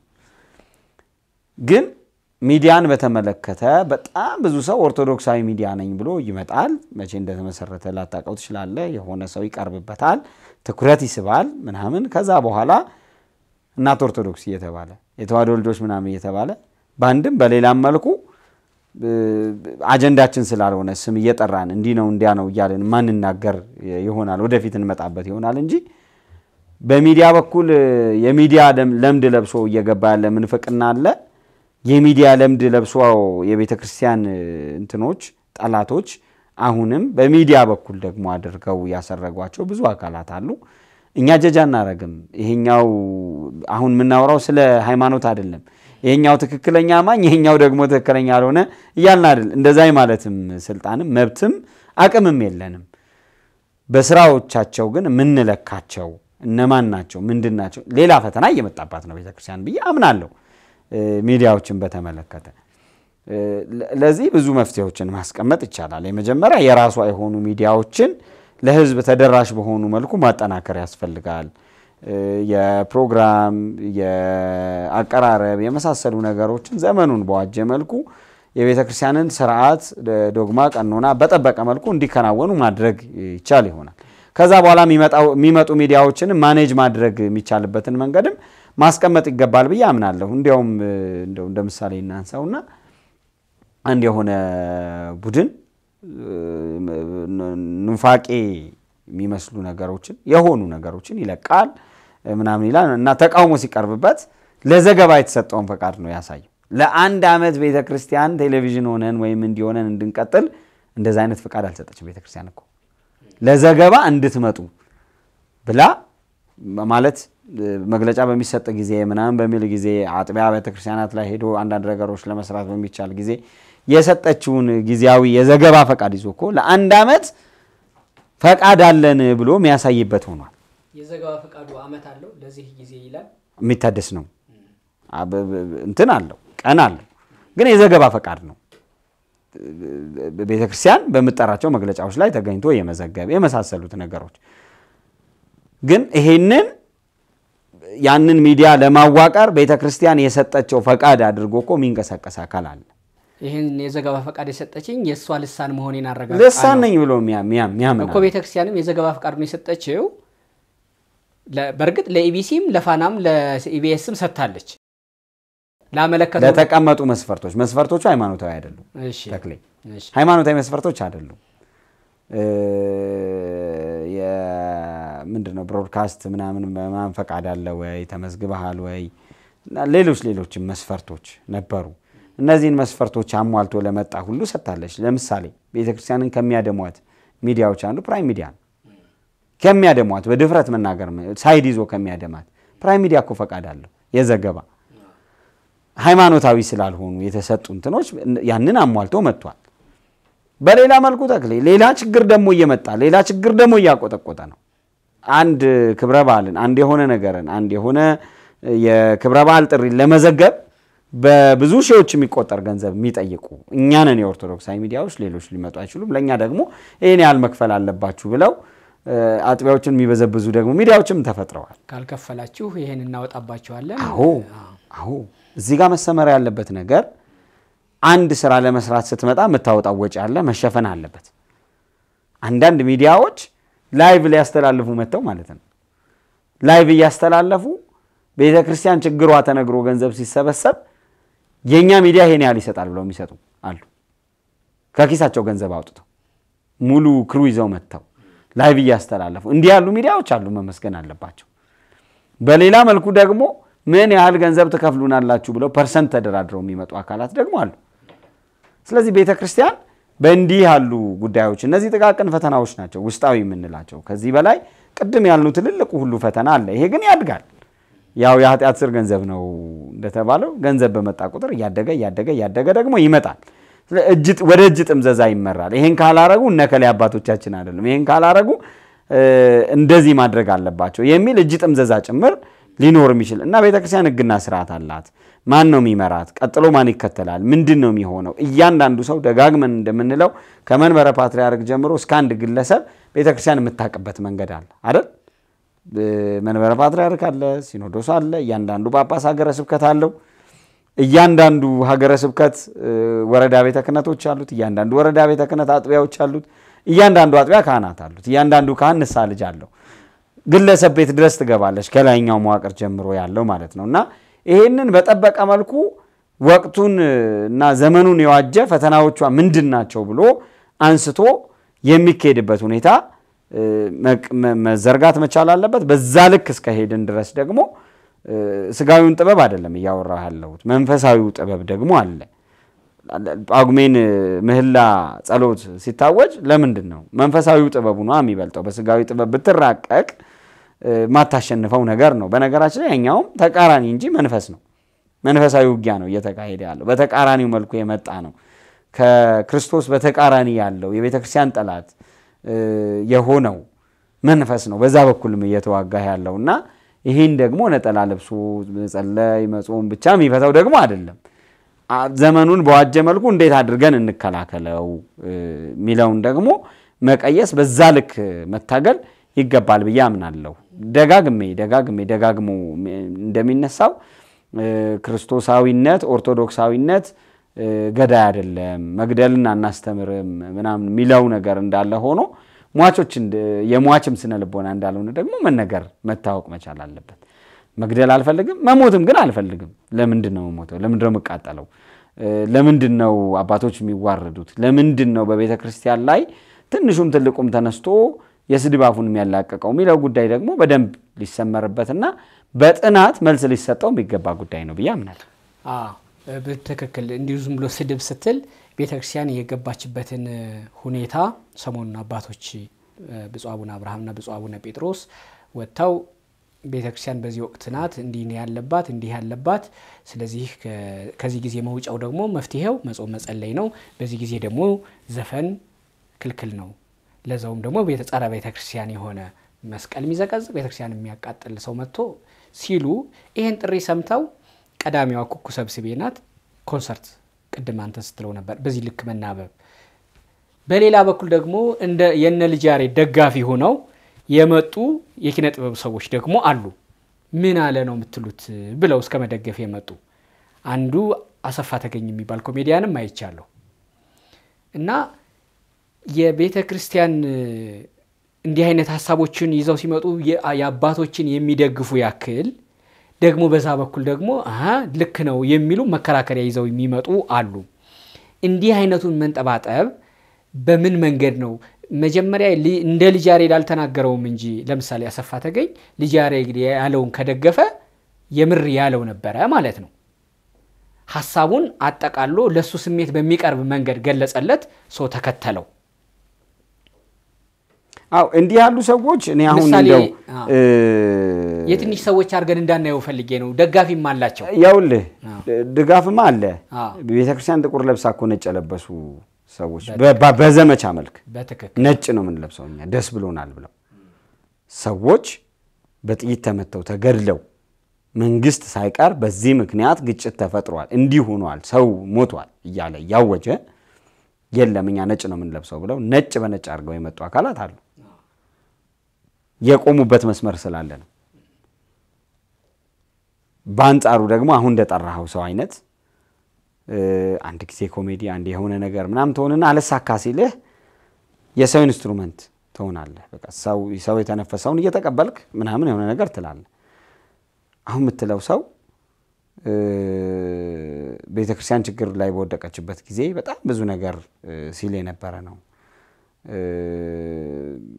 ስለ ግለሰቡ ሁለትም ሶስትም ደቂቃ ማባከን አይጠቅምም ነው እንጂ በራሱ በማንነት ቀውስ ውስጥ ያለ ሰው ዛሬ ኤርትራዊ ነኝ፣ ነገ ደግሞ የኦሮሞ ማህበረሰብ አካል ነኝ፣ ከነገ እንዲህ ነኝ አሁን የምንከራከረው እኮ ስለ ቤተ ክርስቲያን ነው፣ ስለዚህኛው ወይም ስለዛኛው ብሔር አይደለም። አሁን አንተ እንዳነሳሃቸው አይነት ሰዎች እንዳሉ ሁሉ በአብላጫው ዘጠና ምናምን percent በሚባል ደረጃ ኦሮሞ ኦርቶዶክሳዊ አይደለም ልጅ ያሬድን የተቃወሙ። ስለዚህ እነዚህ ሰዎች ቤተ ክርስቲያን በር የሌላት አጥር የሌላት መሰላቸው። አሁን የምትለው ሰው አጥር የሌላት መሰለው። ድራማ ልሰራላችሁ ስንት ከፍሉኛላችሁ ምናምን ብሎ በየአውደ ምሕረቱ ይዞር ነበር። ታስታውስ እንደሆነ አንዳንዴ የቄስ አንዳንዴ የምናምን እየለበሰ ሞከር አጥር አላት ቤተ ክርስቲያን። ይሄን ይሄን ስታሟላ በዚህ በኩል ትገባለህ። ይሄን ይሄን አይሆንም። ስለዚህ ምንድን ነው የሚሆነው? አጥር የሌለው ቦታ መፈለግ ነበረበት። አጥር በሌለው በኩል መጥቷል። ስለዚህ ዝም ብሎ አጥር አጥር አጥር በአጥር ውስጥ ያልተከ- ያልተከለለ አካል ያንንም ያንንም ነው የሚናከሰው። ቅድም እኮ ያልኩት እሱን ነው። በቃ ትኩረት የፈለገ ሰው አሁንም ሊመጣ ይችላል፣ ነገ ይመጣል። በእርግጠኝነት አንድ ነገር ልንገርህ፣ በልጅ ያሬድ መታሰር በጣም ያበዱ ደግሞ ግን ደግሞ የህዝብ ወካይ ነን፣ አዋቂ ነን፣ ታሪኩን እንነግረዋለን ምናምን የሚሉ ምሁራን ነን የሚሉ አካላት አሀ እንደዚያ ከሆነማ ቤተ ክርስቲያን እኮ በዚህ መጽሐፏ ላይ ቤተ ክርስቲያን የማታውቃቸው መጽሐፍት ቤተ ክርስቲያን ያልጻፈቻቸው መጽሐፍት እየተጠቀሱ በዚህ መጽሐፍ ላይ እንዲህ ብላለች እንዲያ ብላለች፣ ስለዚህ ወደ ክስ እንሄዳለን፣ ከሌ የሚባለውን ህዝብ ይቅርታ ጠይቅ፣ እንዲህ ነው እንዲያ ነው የሚሉ እኮ አካላት ተነስተዋል። ይኸውልህ ከሰውነት ወርደህ በዘር አስተሳሰብ ውስጥ ከታጠርክ ትንሽ ቆይተህ የምታደርገው ያንን የወደድከውን ቡድን ሃይማኖት ታደርገዋለህ። ስለዚህ ለእኔ ከሃይማኖቴ ሁሉ በላይ ነው ማለት ትጀምራለህ። እንደዚህ ካሉ ሰዎች ጋር ነው ችግሩ እየገጠመን ያለው እና ደጋፊዎች አሏቸው። አዎ ደጋፊዎች አሏቸው። ደጋፊዎች ስላሏቸው እኮ ነው ያለ ስራ ቤተክርስቲያንን መሳደብ ስራ አድርገው ጥሩ ኑሮ መኖር የሚችሉት ስራ የማይሰሩ ሰዎች፣ የሆነ ነገር የማያደርጉ ሰዎች። አዎ ደጋፊዎች አሏቸው። ደጋፊዎች ስላሏቸው እኮ ነው የሚሾሙት ቤተክርስቲያንን የተሳደቡ ሰዎች። እንደዛ አይደለም የሆነው። ፓርላማ አልገቡ ቤተክርስቲያንን የተሳደቡ ሰዎች፣ ሚኒስትር አልሆኑም ቤተክርስቲያንን የተሳደቡ ሰዎች። ከዛ በኋላ ደግሞ ሚኒስትር ሆነው ደግሞ የሚኒስትርነት ካባ ደግሞ ይለብሱና በእኛ በቤተክርስቲያን ክብረ በዓል ላይ ደግሞ መጥተው ይሄ በዓል እንዲህና እንዲያ ለኢትዮጵያ ምናምን አምጥቷል ምናምን ደግሞ ብለው ይናገራሉ። በነገራችን ላይ ፈተናው ዘርፈ ብዙ ነው የምንለው ለዛ ነው። ታሪክን ከመበረዝ ትውልድን አዲስ ታሪክ ከማስለመድ የተለያዩ ሃይማኖታዊ የሆኑ ነገሮችን ወደ ባህላዊ ነገሮች በማውረድ የተጀመረ ሰፊ እንቅስቃሴ ነበረ። ይህንን ነው እያስቀጠሉ ያሉት። ለምን? ለነሱ የምትሆን ኢትዮጵያ መፍጠር ስለሚፈልጉ። ለነሱ የምትሆን ኢትዮጵያ ካልተፈጠረች ደግሞ ኢትዮጵያ የምትባለው ሀገር ፈራርሳ እነሱ የሚፈልጓቸው ትንንሽ መንደሮች መፈጠር ስላለባቸው እና እነዚህ መንገድ ላይ ያሉት ሰዎች አጋዦቻቸው ናቸው። እኔ በአስተሳሰብ ደረጃ መገደብ አለበት እንጂ እከሌን ስላሰርከው፣ እከሌን ስላሳደድከው፣ እከሌ ይቅርታ ስለጠየቀ እንዲህ ስለሆነ የሚቆም ነገር ነው ብዬ አላምንም። ይቀጥላል። አንዱ ይታሰራል፣ አንዱ ይቅርታ ይጠይቃል፣ አንዱ የሆነ ነገር ይላል፣ አንድ ሱፍ ይለብሳል፣ ከረባት ያደርጋል፣ ሌላ ደግሞ ያበደ ሰው ይነሳና ደግሞ እንዲህ ያለ ነገርን ይናገራል እና ደጋፊዎች አሏቸው ስንል ነገሩ አስተሳሰብ ሆኖ እየቀጠለ ነው ማለታችን እንጂ በ- በ- በሕግ ደረጃ በሞራል ደረጃ በባህል ደረጃ ብንሄድ እጅግ ጸያፍ ነውር የሆነ ነገር ነው ያደረጉት ነገር በሕግ ወንጀል ነው፣ በባህል ነውር ነው፣ በሃይማኖት ኃጢአት ነው። ሃይማኖት አለን የሚሉ አካላት ካሉ ማለት ነው እና በአደባባይ የተነገረው ከተነገረ ንግግር ጀርባ ያልተነገረ ከጀርባ ምን እየተሰራ ነው የሚለው ነገር ቢያስጨንቀን ደግሞ እሱን ስንሰማው ደግሞ ሊያሳብደን እኮ ይችላል። ብዙ አብያተ ክርስቲያናት ተዘግተዋል፣ ቅዳሽ አጥተዋል፣ እየተሳደዱ ትናንትና አይደል ከስልጤ ታቦታትን ሳይቀር ይዘው የተሰደዱና ቡታጅራ የተቀመጡ ምዕመናን ነው አይደለም። በዓልን እኮ እንደዛ እያከበሩ ነው። ህፃናት ይዘው ትናንትና ሰርተው ለፍተው ደክመው ለነሱ ሳይሆን ብዙ ሰራተኞችን ቀጥረው ለብዙ ሰው ተርፈው የነበሩ ለሀገር በጣም ብዙ ግብር ይከፍሉ የነበሩ ሰዎች አይናቸው እያየ ንብረታቸው፣ ሀብታቸው ነዶ ለማኝ እንዲሆኑ ተደርገዋል። ይህ አንድ ዙር አይደለም የተደረገው፣ ሶስት አራት አምስት ዙር በዚች በሶስትና በአራት ዓመት ሆኖብናል። አንዱን እየረሳን አንዱን ስለምንይዘው አንዱን ትተን አንዱን ስለምንጨብጠው ነው እንጂ የሆነ አክቲቪስት ተከበበ ሲባል የሆነ አርቲስት ሞተ ሲባል መስቀል መጣ ሲባል ጥምቀት መጣ ሲባል ሁሉ ዙር አንድ ዙር ሁለት እያሉ right እያደረጉ ቤተክርስቲያናችንን የሚያቃጠሉ ሰው የሚገሉ የሚያነዱን ሰዎች አሉ።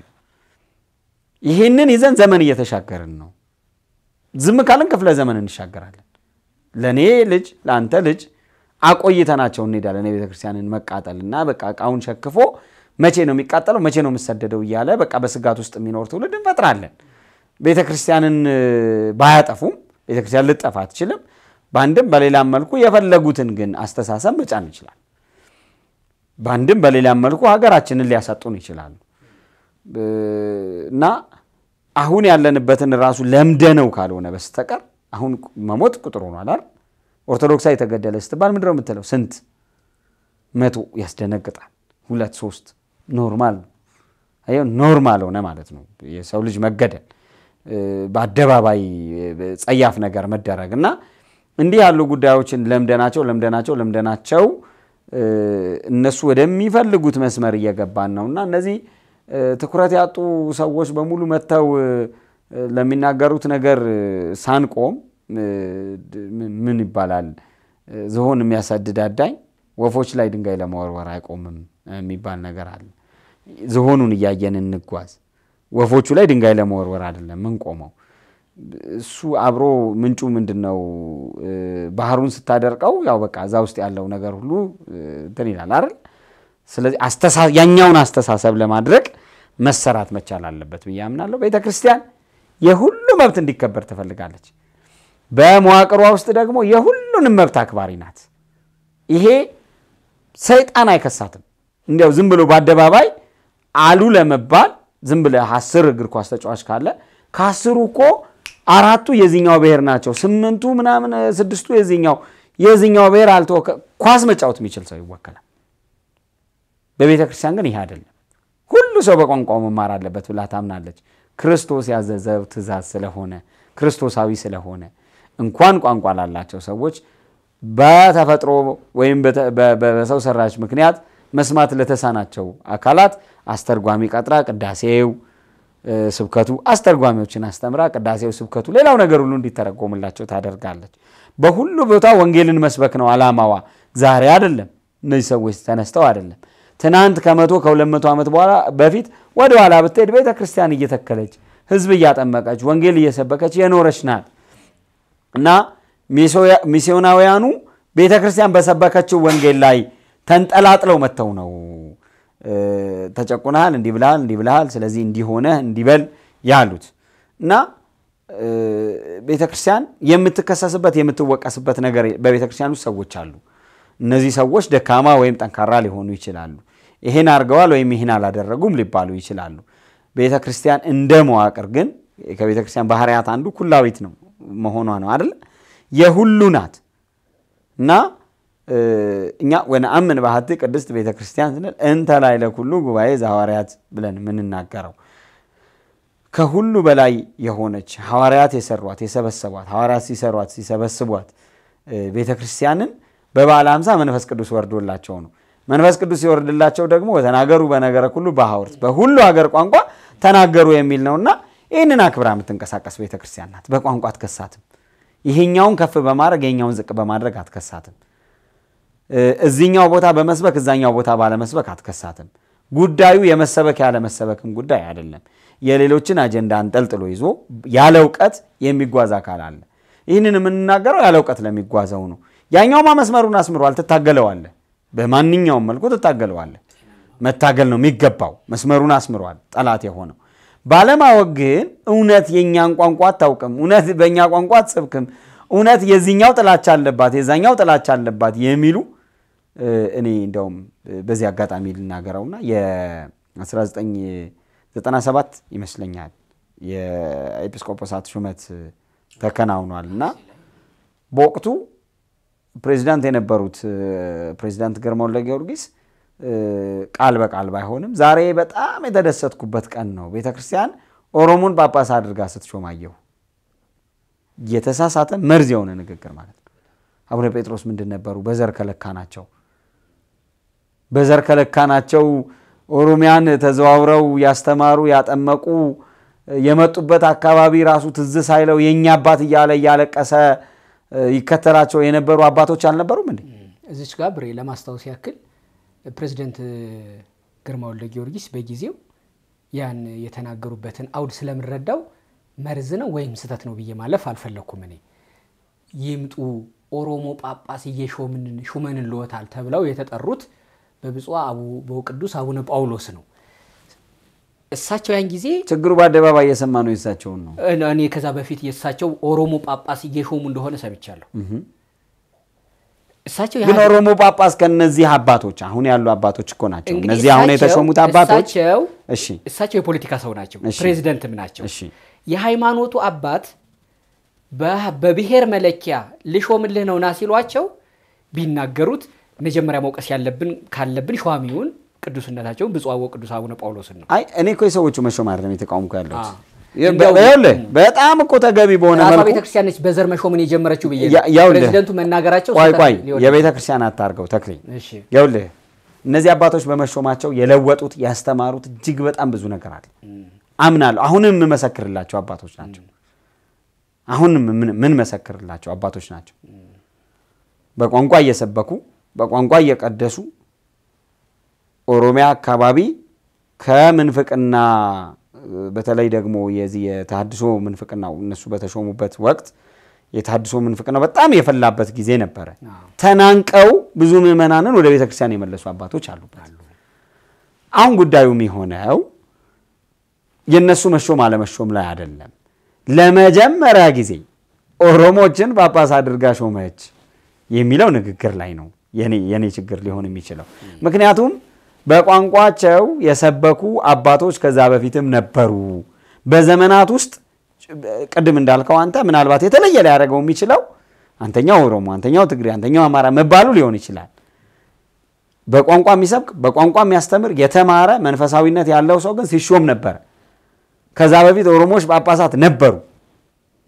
በተለያየ ሁኔታ ቤተ ክርስቲያን እከሌ ወእከሌ ሳትል ሁሉ ሰው በመንፈሳዊው መንገድ ሕገ ቤተ ክርስቲያን በሚፈቅደው መንገድ ይምጣ እንጂ አንተ የትኛው ነህ ከዚህኛው ነህ ከዛኛው ነህ ሳይባል እንትን ብሏል እና ዛሬ የዛሬው ከረጢት ውስጥ ለመግባት ሲባል ትናንትን መኮንን የትናንት አባቶችን የዚህኛው ዘር ናቸው የዚህኛው ዘር ነበሩ ማለት አያስፈልግም ነው እንጂ አዎ። ቤተ ክርስቲያን ሁሉን ወክላ ስትጓዝ የነበረች መሆኑን መመስከር ይገባል። ይሄ ተከትቦ ያለ ነው። በሕይወት ያሉ ሰዎችም የሚመሰክሩት ነው። እንዲያውም በቅርብ ጊዜ እኮ አንድ አባገዳ ዲያቆን የሆኑ ሰው በማህበረ ቅዱሳን ቴሌቪዥን ቀርበው ምስባክ ሲሰብኩ ሲናገሩ ምናምን ነበር አይደለ? ግን ቤተክርስቲያን አባገዳዎችን ትጠላል ተብሎ እኮ ደግሞ ሲነሳ ነበረ እና በአንድም በሌላም መልኩ ከኦርቶዶክስ የጸዳች የኔ መንደር ከኦርቶዶክስ የጸዳች የኔ ክልል የሚል ነገር ለማምጣት ሲባል የትናንትን ታሪክ እየካዱ ዛሬ ላይ ላለው ነገር እየመሰከሩ መጓዝ ነገ ለትውልድ ፈተና እንደሚያመጣ መታወቅ መቻል አለበት ለማለት ነው ያነሳሁት። 2015ን ለማንኛውም በእንዲህም በእንዲያም እያየን ባየነው መንገድ እንዲሁ ቅድም መግቢያ ላይ እንደምለው ተንጠባጥበን ደርሰናል። ደግሞ 2015 ላይ ደግሞ በጭራሽ ጥለ ነው ያነሳ ነው ሁሉ ያወራ ነው በሙሉ በእርግጥ የሚጣልም የሚነሳም ያለበት ነው። ደግሞ ልጡ የዚህ ሁሉ ልጥ ማሰሪያው ይሄ ይሄ ይሄ ነገር ባይረሳ ምትለኝ እንደው አንተም እንደ ግል በግልህም ቢሆን እኔ ይሄን ላደርግ ነው ተከተሉኝ በ2016 የምትለኝ ካለ ብዬ ነው ወደ ማጠቃለያው ስለሆነ አው እንግዲህ ያነሳነው አጀንዳ የቤተ ክርስቲያን ጉዳይ ስለሆነ እንጂ እጅግ በጣም ብዙ ችግሮች ላይ ቆመን ነው እየተነጋገረን ያለ ነው። እንኳን አደረሳችሁ እንኳን ወደ 2016 ዓ ም አሸጋገራችሁ ስንል እንኳን አደረሳችሁ የሚለው ፌዝ የሆነባቸው ብዙ በሰቆቃ ውስጥ ያሉ ወገኖች ደግሞ አሉን። ንጹሐን ሰዎች ያለ ኃጢአታቸው ያለ በደላቸው ህይወታቸው እየተቀጠፈ ያሉ ለፍተው ደክመው ጥረው ግረው ያሳደጓቸው ልጆቻቸው እየተገደሉባቸው ያሉ በበሽታ በረሃብ እንዲያልቁ የተፈረደባቸው ብዙ ንጹሐን ደግሞ አሉና 2016ን ከነዚህ ግስ አንግሱ ነው እየተቀበልን ያለ ነው። ምንድን ነው መደረግ ያለበት? ምንድን ነው መሆን ያለበት ብትለኝ የችግሩ አካል ነኝ እና የችግሩ አካል መፍትሄ አያመጣም። እውነት ለመናገር ቆም ብሎ ማሰብ የሚገባ ይመስለኛል። በተለይ አገር ወዳድ ነኝ የሚለው አካል የየትኛውም ሃይማኖት ተከታይ ይሁን የየትኛውም ቡድን የየትኛውም ዘውግ ወካይ ይሁን ቆም ብሎ ማሰብ ያለበት ጊዜ ይመስለኛል። አሁን የተያዘው ነገር አብረን እንኑር የሚል አይደለም፣ አብረን እንጥፋ የሚል ነው። ማለት አንተ ጠፍተህ እኔ ልዳን የሚልም እኮ አይደለም። ተያይዘን ገደል እንግባ የሚል ሰው ሁሉ አይኑን አስሮ እየተጓዘበት ያለው ነው። ለዚህ ሁሉ እንግዲህ መጀመሪያ በደረጃ ስናስቀምጥ ሀገርን ባደራ ያለው የሚለው ተመርጫለሁ እያስተዳደርኩ ነው የሚለው መንግስት ቆም ብሎ ማሰብ ያለበት ዘመን ነው ብዬ አምናለሁ። በመንግስትነት ለመቀጠልም ባለስልጣን ተብሎ ለመጠራትም እንደው ለዚኛውም ለዛኛውም እጠቅመዋለሁ ለማለትም መቆሚያ መቀመጫ መኖር መቻል አለበት። ሀገር የሚባል መደላድል መኖር መቻል አለበት። እየተናደ ያለው የሀገር የሚባል መደላድል ነው። አንገት ላይ ሸምቀቆ አስገብተህ ወንበር ላይ ቆመህ ከስር እየተናደ ዝም ብለህ ልታይ አትችልም። ከስር ከተናደ ወንበሩ ይወድቃል፣ ሸምቀቆ አንገትህን ያጠብቀሃል። እየሆነ ያለው እሱ ይመስለኛል። በአንድም በሌላም መልኩ እግዚአብሔር የለሽነት በበዛ ቁጥር ግላዊነት በደንብ እየጎላ ይመጣል። ስለዚህ ከእኔ ውጭ ያለው በሙሉ ጠላቴ ነው የሚል ይመጣል። ዛሬ የሚመስለን የብሔር የቋንቋ ነው የሚመስለን። ይሄ እያጠረ እያጠረ ወደ መንደር፣ ወደ ቡድን፣ ወደ ስብስብ መውረዱ አይቀርም። ያ እንዳይሆን ምን እናድርግ ከተባለ ቆም ብሎ ማሰብ ያስፈልጋል። እንደ ሀገር ምንድን ነው ያጣነው የሚለውን ነገር መነጋገር ያስፈልጋል። ማንም ሰው እንደው ገራምም ቢሆን እንኳን መሳሪያ ይዘህ ልትገለው በመጣህ ቁጥር የሆነ ነገር ልታደርገው በመጣህ ቁጥር ዝም ብሎ አያይህም። ራሱን ለማዳን ይፍጨረጨራል።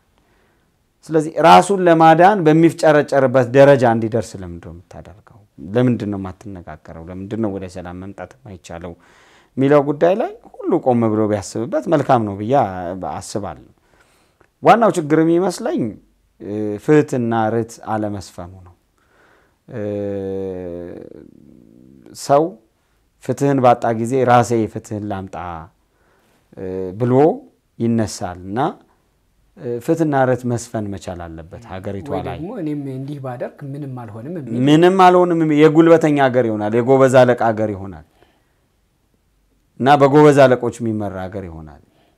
ምናልባት መንግስት የሚባል ነገር ኖሮ ግን ይህኛውን መንገድ እኔ ነኝ ማስተዳድረው አታልፍም፣ ያኛውን ሰፈር ማስተዳድረው እኔ ነኝ እንዳትመጣ የሚል እንትን ይኖራል።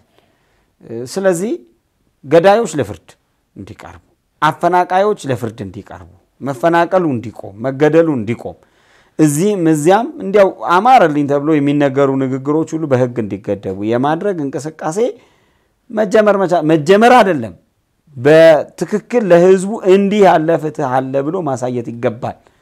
ይሄን የእኔ ቁመና አይደለም ከተባለ ደግሞ ከነማን ጋር ሆኜ ይሄን ላድርገው ብሎ ማሰብም ይገባል ብዬ አምናለሁ። ያ ካልሆነ ቅድም እንዳልኩት ሰው በራሱ ጊዜ ፍትህ ላስከብር ብሎ በተነሳ ጊዜ ፍትህ ላስከብር ብሎ የተነሳውም አካል ያኛውም አካል አይጠቀም፣ ተያይዞ መጠፋፋት ይሆናል። ስለዚህ ቆም ብሎ ማሰብ ይገባል። ወደ ተነሳንበትና ቅድም ስናወራበት ወደ ነበር ነው ወደ ቤተ ክርስቲያን አጀንዳ ስንመለስ ያው መቼም ቤተ ክርስቲያንና ሀገር የአንድ ሳንቲም ሁለት ገጽታዎች ናቸው እና በቤተ ክርስቲያን በኩል በተደጋጋሚ ጊዜ ስለ ሰላም፣ ስለ እርቅ ቁጭ ብሎ ስለ መነጋገር ከጠመንጃ ይልቅ ጉዳዮችን በውይይት ስለ መፍታት ተደጋጋሚ መግለጫዎች ከድሮ ጀምሮ አሁንም በቅርብ በተለይ በተደጋጋሚ ጊዜ እየተነሱ ነው። ቤተ ክርስቲያን ሁሌም ማዕከላዊት ናት። ማዕከላዊት ናት ማለት ግን ሰው እያጠፋ ዝም ብላ ታያለች ማለት አይደለም። በዳዩን እየበደልክ ነው፣ ድሃ ተበደለ፣ ፍርድ ተጓደለ ብላ የመናገር ኃላፊነት አለባት። ይሄ መጽሐፍ ቅዱሳዊ ነው። ትልልቆቹ ወርቃማ የምንላቸው አባቶቻችን እነ ቅዱስ ዮሐንስ አፈወርቅና ሌሎቹም ትልልቆቹ አባቶቻችን ድሃ ተበደለ፣ ፍርድ ተጓደለ ብለው ግዞት እስከ መሄድ ደርሰው በግዞት እስከሚያርፉ ድረስ ተጉዘዋል። በእኛ ሀገርም ጊዜ ንጉሱ ድሆችን በበደለ ጊዜ ወይም ደግሞ አላስፈላጊ የሆነ ስራ በሰራ ጊዜ እየተጠራሩ መነኮሳቱ እየተሽቀዳደሙ መጥተው ሰማዕትነት ተቀብለዋል። ንጉሱን ገስጸዋል። ትክክል አይደለም ብለዋል። ስለ ቤተ ክርስቲያን ማዕከላዊነቷ መቀጠል አለበት። ሰላም ይምጣ፣ እርቅ ይስፈን ማለት መቻል አለባት። በዛው ልክ ደግሞ ይሄኛው ወገን ግን ህዝብን እየበደለ ነው። እንዲህ ግን እየሆነ ነው። ስለዚህ በድሆች ላይ ያቁሙ። ድሆች እንደዚህ አይሁኑ። ፍርድ እየተጓደለ ነው። ለዚህ ጉዳይ ፍርድ ሊኖረው ይገባል ብለው የሚናገሩበት ጊዜ መሆን መቻል አለበት ብዬ አምናለሁ። እስካሁንም እየሆነ እንደሆነ አውቃለሁ፣ ግን ተጠናክሮ በደንብ መቀጠል አለበት ብዬ አምናለሁ። ፖለቲካው ያመጣብን በሽታ ቅድም ስንለው የነበረው ደጋግሞ ደጋግሞ ቤተክርስቲያንን ለማጥቃት ለማጥፋት በተደረገው እንቅስቃሴ ሁሉ ፖለቲካው ያመጣብን በሽታ ቤተክርስቲያን በእበላባዮች ተከባ በእበላባዮች የመሙላት እንቅስቃሴ ነው ሲደረግ የነበረውና እንዲያው በቤተ ክርስቲያን ውስጥ ሆነው ስለሚያስተዳድሩት አካባቢ ስለሚያገኙት ገንዘብ ምናምን የሚጨነቁ ብዙ መለካውያን ሴሞናውያን ቤተ ክርስቲያን ላይ እየታዩ ነው እና ስር ነቀል ለውጥ መደረግ መቻል አለበት ብዬ አምናለሁ። የኢትዮጵያ ኦርቶዶክስ ተዋሕዶ ቤተክርስቲያን ቅዱስ ሲኖዶስ መጀመሪያ ስለ ስር ነቀል ለውጥ መነጋገር መቻል አለበት ብዬ አምናለሁ። ዛሬ ፍርድ ተጓደለ፣ ድሃ ተበደለ ብለን በሀገር ላይ መጮህ አለብን ስንል ስንት አጥቢያ ላይ የሚያለቅስ ድሃ አለ። ስንት አጥቢያ ላይ የሚፈናቀል ሜዳ የሚወድቅ ልጆቹን የሚያበላው የሚያጣ የእግዚአብሔር ካህን አለ። ስንት ቦታ ላይ ደሞዝ ስላለ ደሞዝ ስለሚከፈል ብቻ መንፈሳዊ አባትነቱን ረስቶ የተቀጠረ ማናጀር አድርጎ ራሱን የሚቆጥር ስንት ሰው አለ።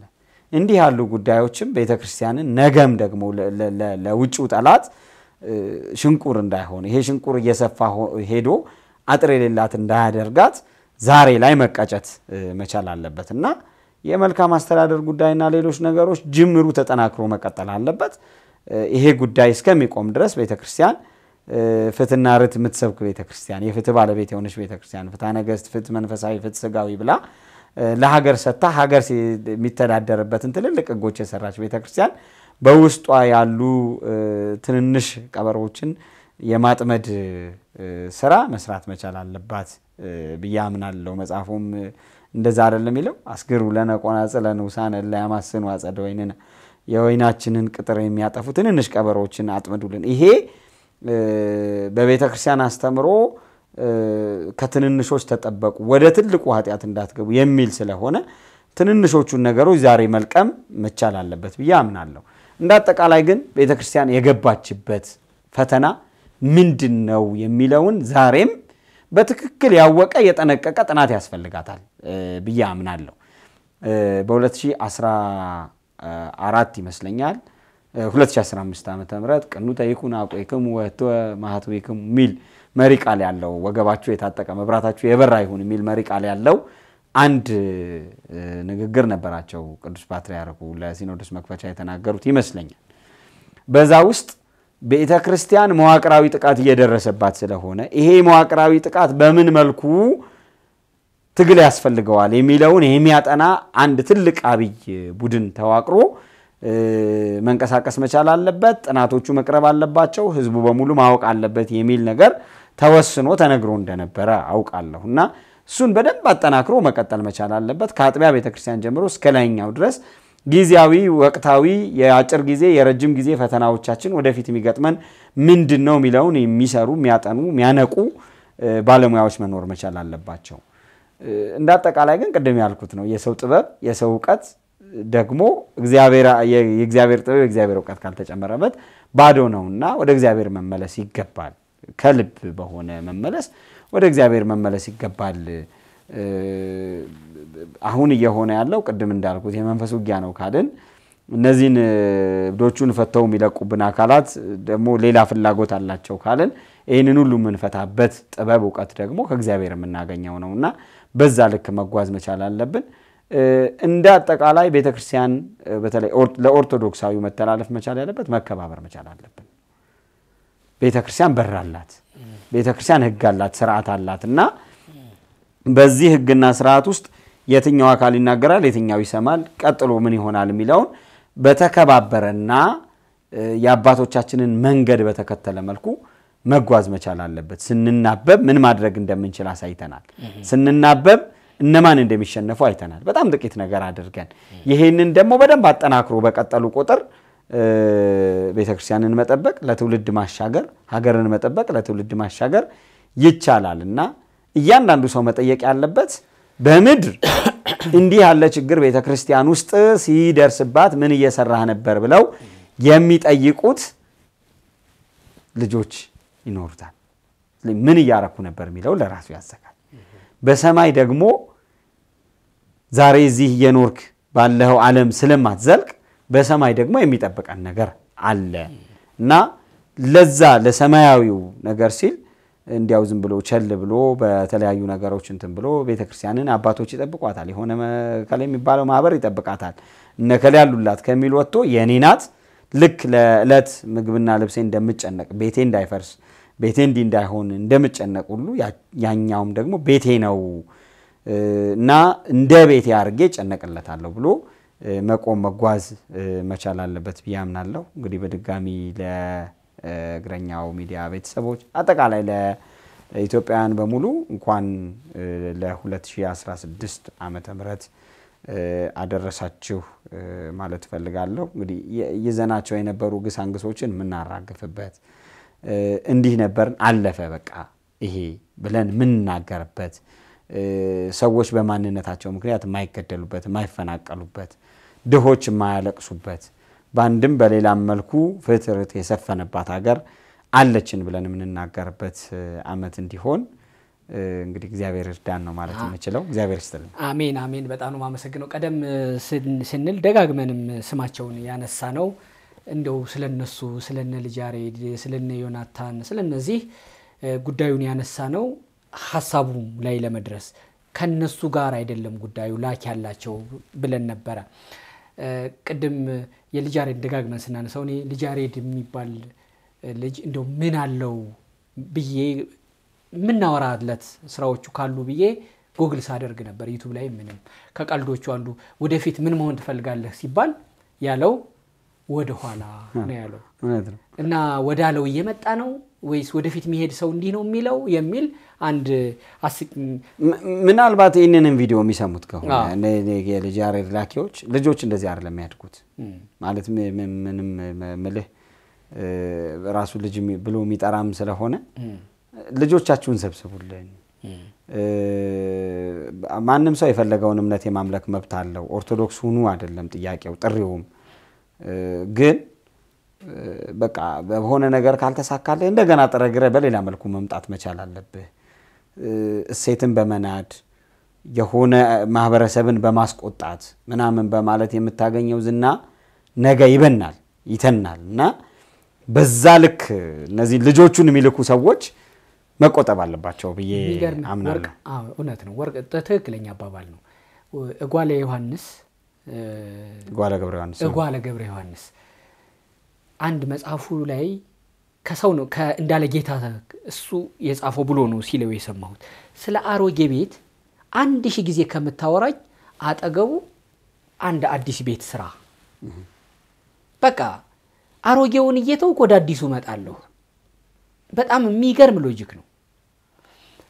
እንዲህ ነው እንዲህ ነው እንዲህ ነው እያልክ ጨቋኝ ናት፣ እኛን አላካተተችም፣ እኛ የተሻልነን ነው አይደል እያልክ ያለው እችኛዋን ተዋት። አሮጌ በአንተ አእምሮ ማለት ነው። በትምህርት ጥቅስ የራስህን አዲስ ስራና ወደ አንተ ሰው እንዲመጣ ይሄኛውን አታፍርሰው፣ ለጊዜውም ቢሆን ማደሪያ ይሆነናል ነው አደለ? አሮጌው አዲሱ ሳይሰራ አሮጌውን አታፍርስ። አሮጌውን ትወው፣ አዲሱን ስራ፣ እኛ ወደ አዲሱ እንመጣለን ነው እና ቆንጆ ሀሳብ ነው አንተ የሚያልከው። ይህንን ቪዲዮ የሚያደምጡ ሰዎችም አስተሳሰቡ ላይ እኔ አሁን በእርግጠኝነት ሁለታችንም እ፣ በአእምሯችንም አስበነው የማናውቀው ሰው ነው። ይህን ያህል ሰዓትም ማባከን ይገባል ብዬ አላምንም። በዚህ ልክ የመጣነው አስተሳሰቡ መነገር መቻል አለበት ብለን ስለምናምን ነው። እንደው መጨረሻ ላይ አቋርጬ ይሄ የገባሁት በ- በ2016 መልካም ይሆናል ብለን እንመኛለን እንጂ የከፋ ፈተናም ሊመጣ እንደሚችል ደግሞ ማመን መዘጋጀት ያስፈልጋል እና ሁሉንም በኦርቶዶክሳዊ አንድነት፣ በኦርቶዶክሳዊ ጥበብ፣ በእግዚአብሔራዊ ምንድን ነው በፈቃደ እግዚአብሔር በኃይለ እግዚአብሔር የምናልፈው መሆኑን አምኖ ሳይሰበሩ መጓዝ ይገባል። ትንንሽ ልጆችን የሚልኩብህ እ፣ አጀንዳው ወርዶ ትንንሽ ሆኖ እንዲቀር እና ትንንሽ መስሎ ግን ትልልቆቹ ሰዎች የመጨረሻውን ነገር ሰርተው ሲያጠናቀቁ እንድታያቸው ነው እና ከትንንሾቹ ይልቅ ተለቅ ያለውን እንይ ለማለት ነው ያቋረጥኩ። በጣም አመሰግናለሁ። በጣም ብዙ ቁም ነገር ነው እንትን ያልነው። ያው በሉቃስ ረስ በዮሐንስ ፈስ ነው የሚባለው? የዛ ዘመን ይሁን የምታፍስበት ዘመን ይሁንልህ ለማለት ነው እና እኔ ደግሞ ያው እንቁጣጣሽ ብዬህ ነው የምትወጣው። እንቁጣጣሽ እሺ እንግዲህ በዚህ በቤተ ክርስቲያናችን እ፣ ልማድ አዲስ ዓመት የኢትዮጵያውያን አዲስ ዓመት ምድር ሁሉ ለምለም የሚሆንበት ምድር በአበቦች የምታሸበርቅበት ዘመን ነው። ደግሞ በኦሪቱ ስንመለስ ደግሞ እርጥብ ነገር ያቺ የጥፋት ውሃ ከመጉደሉን ለማየት የተላከችው ርግብ የወይራ ዝንጣፊ ይዛ ለምለም ይዛ የጥፋት ውሃ ጠፋ ጎደለ ብላ ያበሰረችበት ነው እና እንዲህ ያሉ መበሳሰሮች በጣም ደስ ይላሉ። የሚቀጥለው ዓመት ጦርነት ጠፋ፣ እርስ በርስ መገዳደል ጠፋ ብለን የምንናገርበት ዓመት እንዲሆን እመኛለሁ። ታናሽ ነበር የሚሰጠው እንግዲህ ታላቅ ሰጥቷል፣ ተቀብለናል። አዎ፣ ዋናው ነው የሰጠውበት ምክንያት አላማዬ አንድ ነው። አሁን ያለህን ቁጭ አድርግ አምጣ። እንቁጣጣሽ ብዬ ዝም ብሎ የለም እንዴ በርህ ቁሜ እንቁጣጣሽ በየአመቱ ያምጣህ ብለህ ይሄ እርጥቡን ነገር ያመጣሁበት ለሚቀጥለውም አመት ደግሞ ደብተር ምገዛበት እንደዛ እንደዛ ይሰጣል እና ያለህን ቁጭ አድርግ ለማለት ነው። ሀንግ መሰለብህ። እንኳን አደረሰ። ለማንኛውም እንኳን አብሮ አድረሰን። ጊፍት ሪል ስቴት በመሃል ቦሌ እጅግ የዘመኑ ውብና ቅንጡ አፓርትመንት ቤት እንዲኖረው ይፈልጋሉ? ከባለ አንድ መኝታ እስከ ባለ 3 ከ90 ካሬ እስከ 238 ካሬ እንደ ፍላጎቱ በ15 በመቶ ቅድመ ክፍያ ብቻ እንጠብቀውታለን። አዲሱን ዓመት ከጊፍት ጋር በታላቅ ቅናሽ። ለበለጠ መረጃ ይደውሉልን 0973 394180 ወይም 0912 487202 ጊፍት ሪል ስቴት። ተመልካቾቻችን እንኳን እንኳን አብሮ አደረሰን ስንል በምክንያት ነው። እንኳን አደረሳችሁን አስቀድማችሁ ከኛ ጋር እንደሆናችሁ ስለምናስብ ነው። 2016 በስኬት በሰላም በፍቅር የተንቆጠቆጠ ዓመት ይሁንላችሁ የእግረኛው ምኞት ነው። እግረኛው ከእናንተ ጋር በተለየ ዝግጅት አዳዲስ ሀሳቦችን የተፈጠሩ የሆኑም ካሉ በቦታው በመድረስ እናንተ እንድታዩቸው ፍትህ ርትም እንዲሰፍን እንሰራለን፣ እንተጋለን። ከእናንተ ጋር ስለሆንን ከእኛም ጋር ስለሆንን ስለሆናችሁ ደስታችን ብዙ ነው። የተለየ ታሪክ ካላችሁ በአዲሱ ዓመት እንዲዘገብ እየሰራችሁ ከሆነ እያገለገላችሁም ከሆነ ምርትና አገልግሎታችሁን ለማስተዋወቅ ከተጠፋፋችሁ እግረኛው መገናኛው ነው። ለዚህ ለዚህ 094677 55 ላይ በቴሌግራም ዋትሳፕ፣ ቫይበር ኧረ በቀጥታም ብትደውሉልን ሃሎው ብትሉን አቤት እመት ማለቱ ከኛ ነው። ተክለ ሃይማኖት አዳነ ነበርኩ።